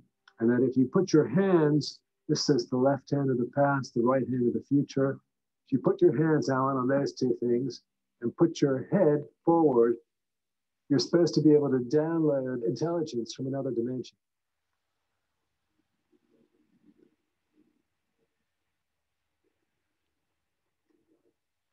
You look different. I'll let you know. so this is a sort of injection of something. Also, you could see it in Venice as well. Uh, a, a different way of looking at the world, a sort of mutation of art and science and mathematics and mysticism. I think a lot of this work in this show harkens back to a kind of Renaissance moment when science and art weren't so different.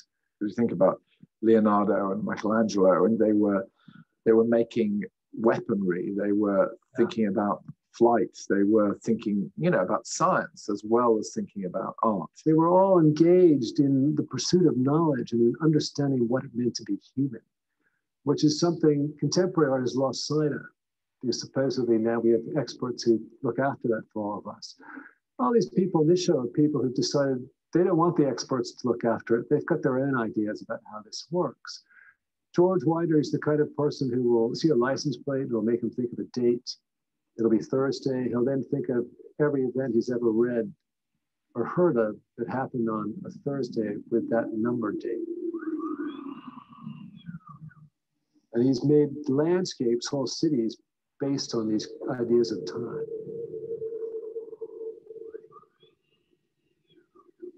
George believes in this idea called the singularity which is that in the near future, machines will become intelligent, will have artificial intelligence.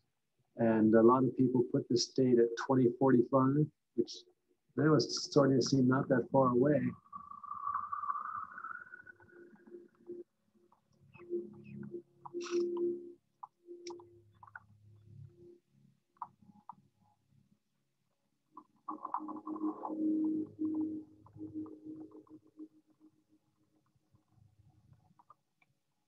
Started to listen to this voice inside of me and stuff that was interested in these patterns, and it became started to become very strong.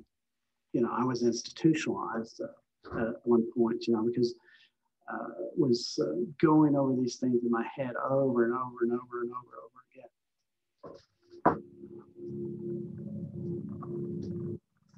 again.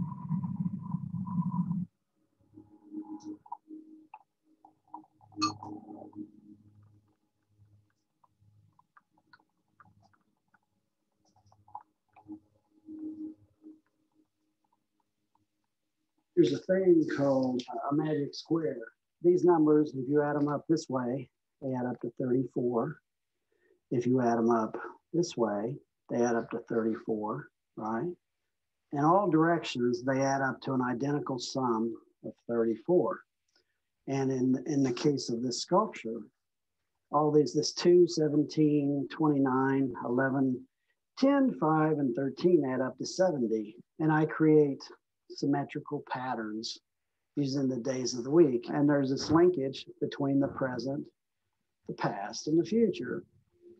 What happened in the past was I was, you know, trying to do too much in my life and I kind of got overwhelmed and went from being an engineering scholar to being uh, on the streets and stuff. Now I'm in galleries. I associate with dealers, art dealers. I show at art fairs. I sell my work. You know, so what to make of it? I don't know. You know, I don't think about it too much. You know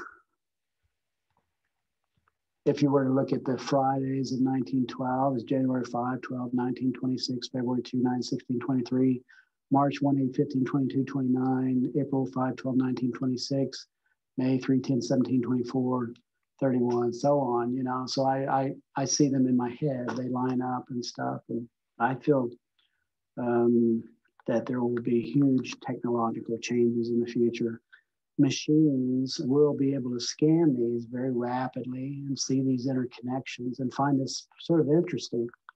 They're going to need artwork too, the robots and machines of the future. So I'm simply making some work uh, for them and stuff to relax with and stuff.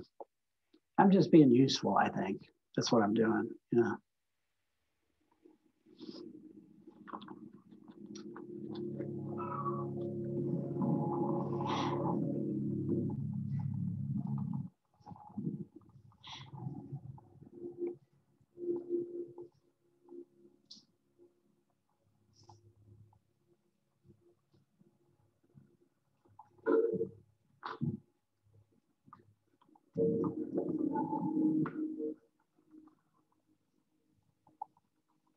The Museum of Everything started life in a former dairy in 2009.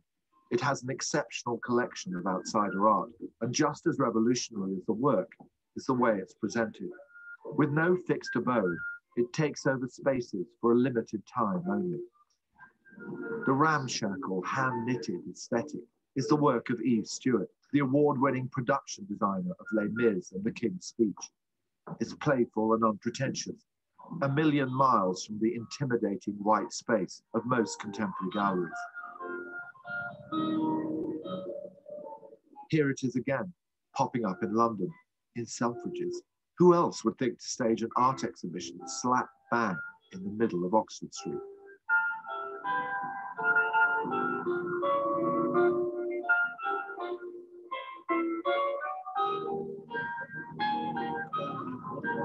This man pops up everywhere too. The museum's freewheeling director, James Brett. Now he is the ringmaster of a traveling circus as it hurtles across Russia, sniffing out secret works by unknown artists.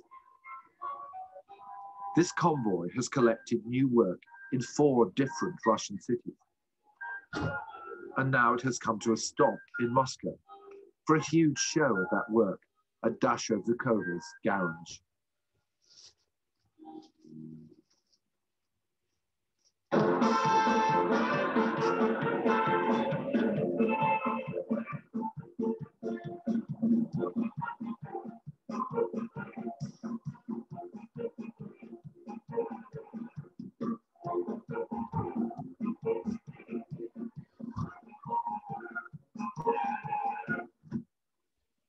Very graphic work is by Oleg Gordev, who's a, a street cleaner and a handyman, and he's a self-taught historian. And when you talk to him, actually, he was a really troublesome kid, and I think narrowly escaped being in prison. And he's a sweet character. But obviously, as you can see in this room, there's a lot of Nazis. It's one thing to have one Hitler in your show. We've got two Hitlers. And that Hitler is what sort of sold me on him because it's it's it's Hitler and he's just realized he's lost the war. And if you look at his features, you can see the pain.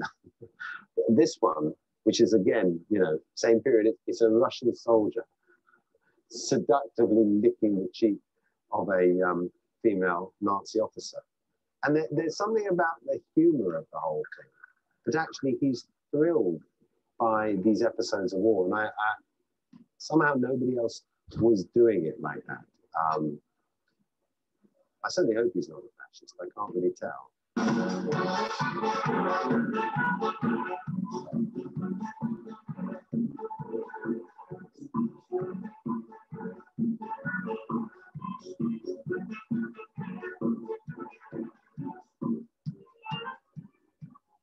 I have a really complicated relationship with this artist. The first time I saw her work, I was very confident, not for us. Thanks very much, because it's too it's too simple in its depiction of the world.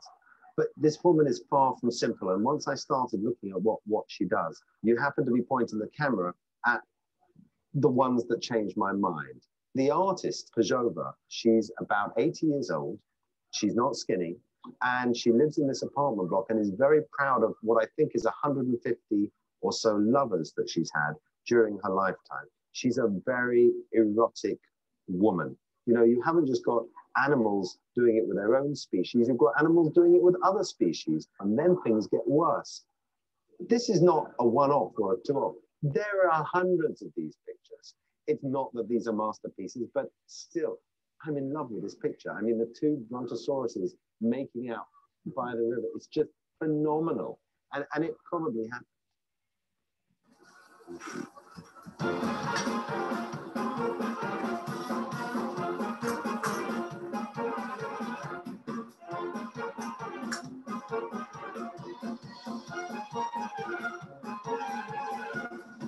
This artist you've got to look at.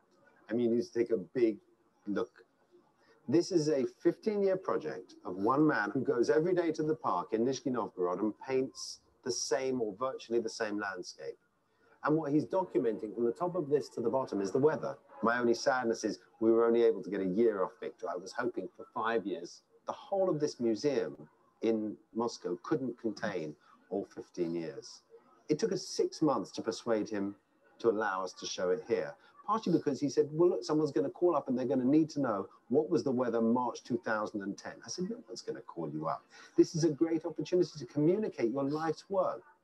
There are very few contemporary artists who would spend 15 years on one project. He didn't even make it to the opening of the exhibition because he was afraid that he would miss a day of doing this. Это здорово, потому что статус э, самодеятельного художника повышается, что это не двоюродные братья. Э, я не вписана в, как бы, ну, в contemporary процесс. С другой стороны, что значит? Э, может быть, все мы, кого называют аутсайдерами, на самом деле самый-самый, не в, не в самом конце, а в самом начале. I love the word outsider at the beginning because, of course, I felt it associated with me, and I, I, I can be weird. And I like that weirdness. I like my differences. But the more I looked into it, the more I thought this just can't be correct. I realized that the mainstream museums were using it to segregate. The other big thing for me is not to present it as the work of a bunch of crazy people. I mean, if I'm really frank, that's often the assumption. And so the other key issue is to say, look, who's crazy? Who's disabled? who's able? Why do we think that if someone has a mental health issue, it's just a cut and dry thing? Everybody has a mental health issue. It's a question of degree. And once you start to understand that, I think you take a step back into creativity and our reasons for making. Why do we create? Picasso said that every child is an artist. The problem is how to remain one once we grow up.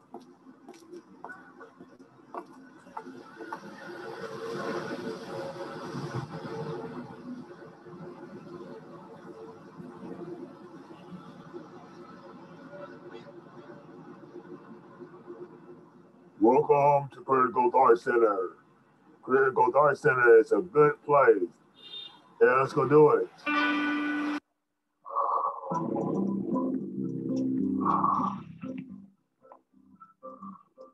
San Francisco has always been a crucible for radical ideas. So it's no surprise that it's home to creative growth.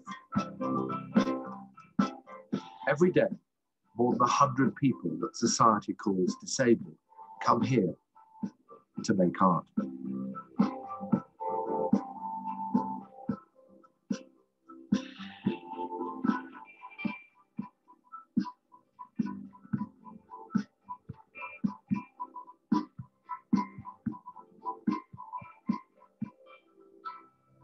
Notion was by the founders originally, Elias Katz and his wife Florence, that there's an innate creative impulse in all humans. And given encouragement and materials, that will come out.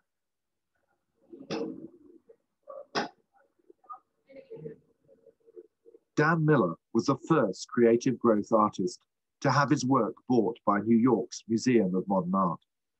All right. Right. Right, right. For me, when I watch Dan work, you see a kind of anxiety and frustration, almost as if everything he needs to say is in his head and he's just really struggling with getting it out.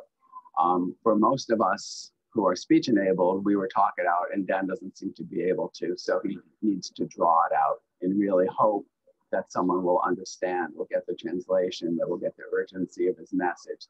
Okay, that's about that. Right. Right, Jenny? Right, right. Right, right,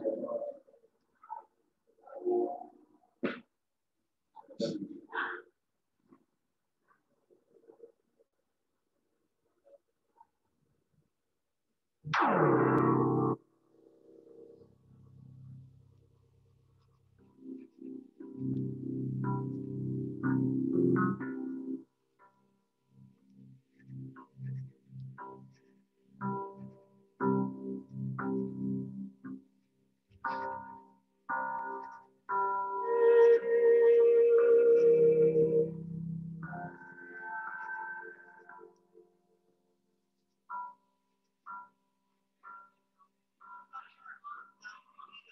I love the atmosphere of this place. You can walk in off the street and just talk to the artist, buy a piece of work, or a limited edition comic book, or even a, a t-shirt.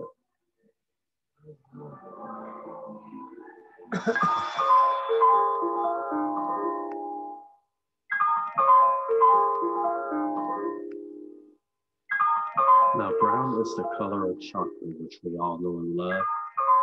Taste that chocolate, and you cannot tell if it's made from Hershey, Ghirardelli, or Dove.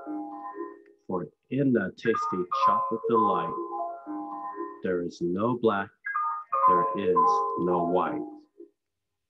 Oh, DJ Disco Duck, that's me. The All-Star Chocolate Heroes. You created a whole new universe here. Oh, yes. Where did the All-Star Chocolate Heroes come from? Well, it all just came from my hand when I when I decided to have some superheroes of my own. and the comic book right here is going to help me start my own business in entertainment. And a lot of people, whether they're my family or friends, are really proud, proud of me of working real hard on this one. Time you get busy up in here.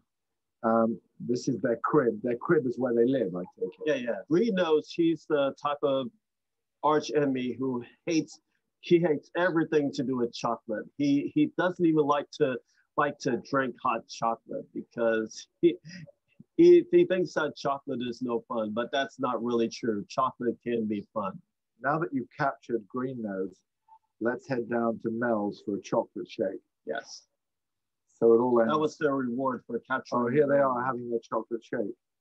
I dedicate this one to all the ladies who have pretty feet and for and for many guys who appreciate women's pretty feet. They can uh, express how they feel like like I have. They can say nice things about a woman's pretty feet in a sweet, positive, symbolized manner like I have. Definitely. You can't quite see their feet though. Well, I, I can because I have good vision. And here's where the feet are at. Right now I'm dealing with hair loss, but I'll have a plan to get my hair back. You've got a plan, eh? Mm-hmm. Let me know about it. Oh, yes.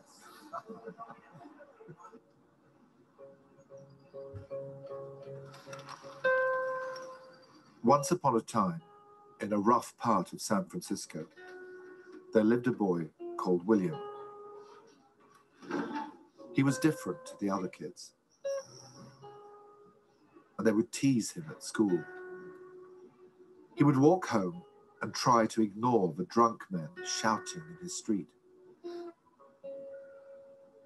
Sometimes he heard gunshots outside his window. He wished they would go away.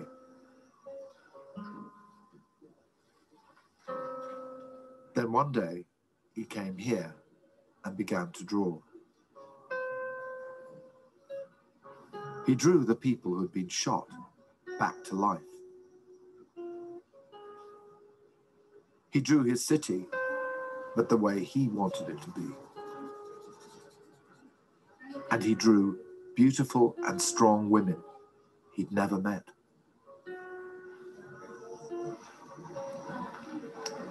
Yeah, I drew right here. So I drew right here, like long language. It's a Queen Sheba. See, she's a peacemaker, long language to peacemaker, and she has beautiful eyes. Hey, I just got back from another world. It was a way, way past another side. It was across the mountain and through the seas, past the moon, beyond all things that we've dreamed about. You never in your life seen such color that glows like a twinkle in an eye. Ooh.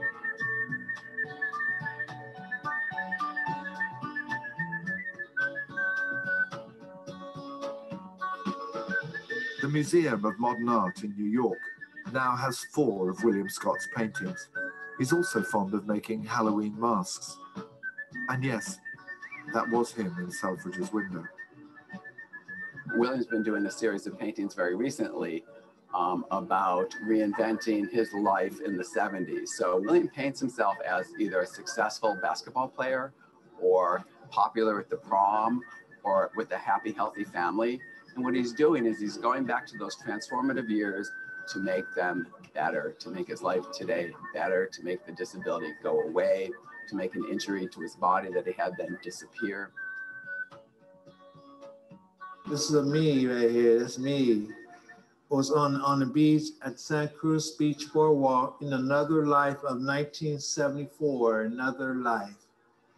Yeah, I'm gonna be like that. Uh, in and wearing the afro and be like that. I want to be like that, wearing the afro with my with my new body, with my new body, uh, a a perf a perfect body. That's Michael Jackson. Yeah. So you're on the front cover yeah. of Modern Painters, with Yeah, that's right. That's a great picture. That's Christina. Yeah. Dear Christina Hernandez, I have been single for a long time. I am tired being, it bothers me too much. I wanted a wife real bad. I've never had any kids. I wanted to become a father for good. Christina, I wanted you to be putting me into friendship and social skills. Yeah. Have you developed your friendship and social skills? No. You're pretty lovable, William, I think. Yeah. Uh-huh.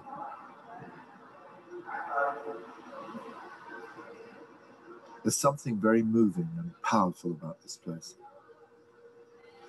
It feels like an environment where anything is possible. And there's room for wit, for charm, and for mystery and magic.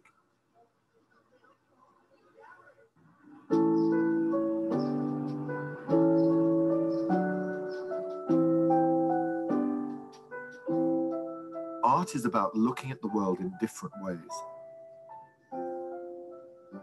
It lets us see things through the eyes of its maker.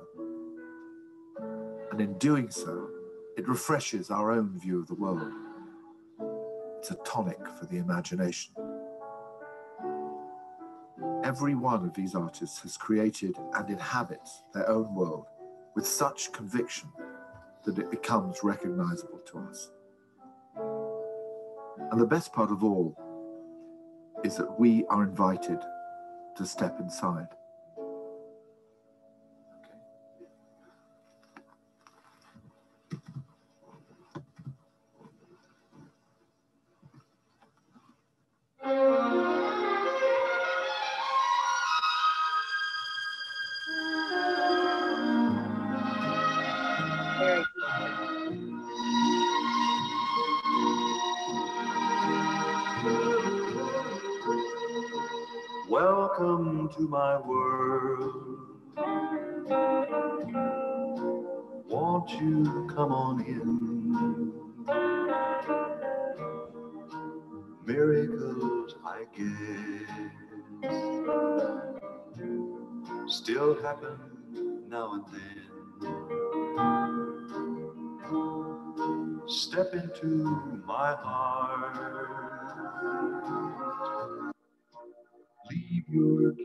Cares behind.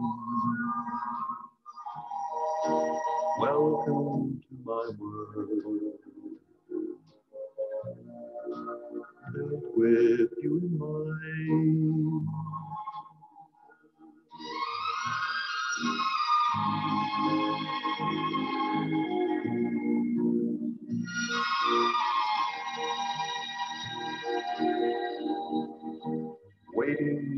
Just for you. Welcome to my world.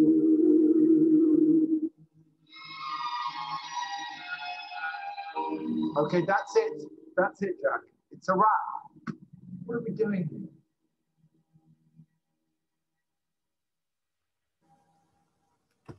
All right. You can unmute your mics if you want to make any comments. I just love this. Amazing. It makes me feel like I could do art, you know, it just, right. it's phenomenal. Thank great? you so much, Joe, for all these presentations. This was, for me, one of the most extraordinary. Yeah, same here. It was amazing documentary. Really good. Uh, And uh, for those who don't know that, Welcome to My World is one of Baba's favorite songs. He used to like, he was singing it "The people, Welcome to My World. And uh, he really loved that song. So uh, I was interesting to use it at the end. Okay, now you can go.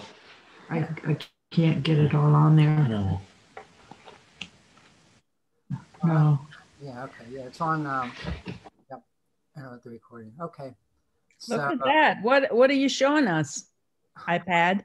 I'm trying to show Joe a squeaky, but I- I can't get it all on.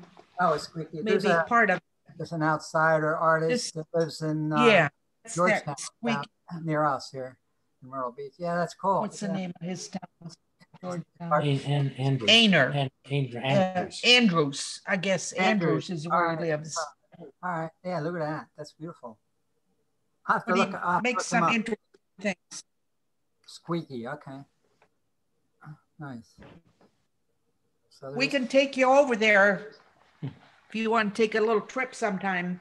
All right. Yeah. We'll So- call him first, make sure he's there. It's his house that he that he. Uh, he lives in a trailer, but by the road, he has an old car, and all around the old cars where he displays his paintings. That's great. And and um, Andrews, right? Yeah, Squeaky from Andrews. Okay. outside of Georgetown. Yeah, that's right. Cool. All right. And anybody else want to say anything before we? Thank you. It Was great. We love outsider art. Yeah, me, I learned a lot just from uh, preparing for this. Um, Definitely a Thank you. foray into people's psyches.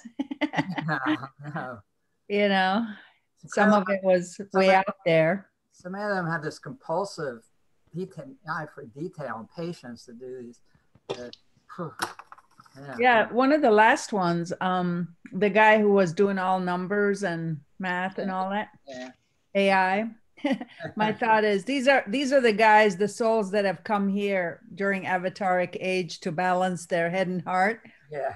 But they're trying to make planet Earth to become uh, one of their planets. Their plans. They seem like that one. Ain't gonna happen. No, with robots in the future and all. So maybe that's what he was used to. yeah. planning From. Yeah.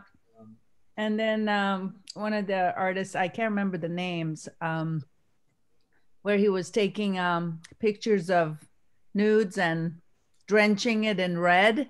Yeah, that was, that's right. that was a little weird. I like I like his I like those drawings. his. Good. Yeah.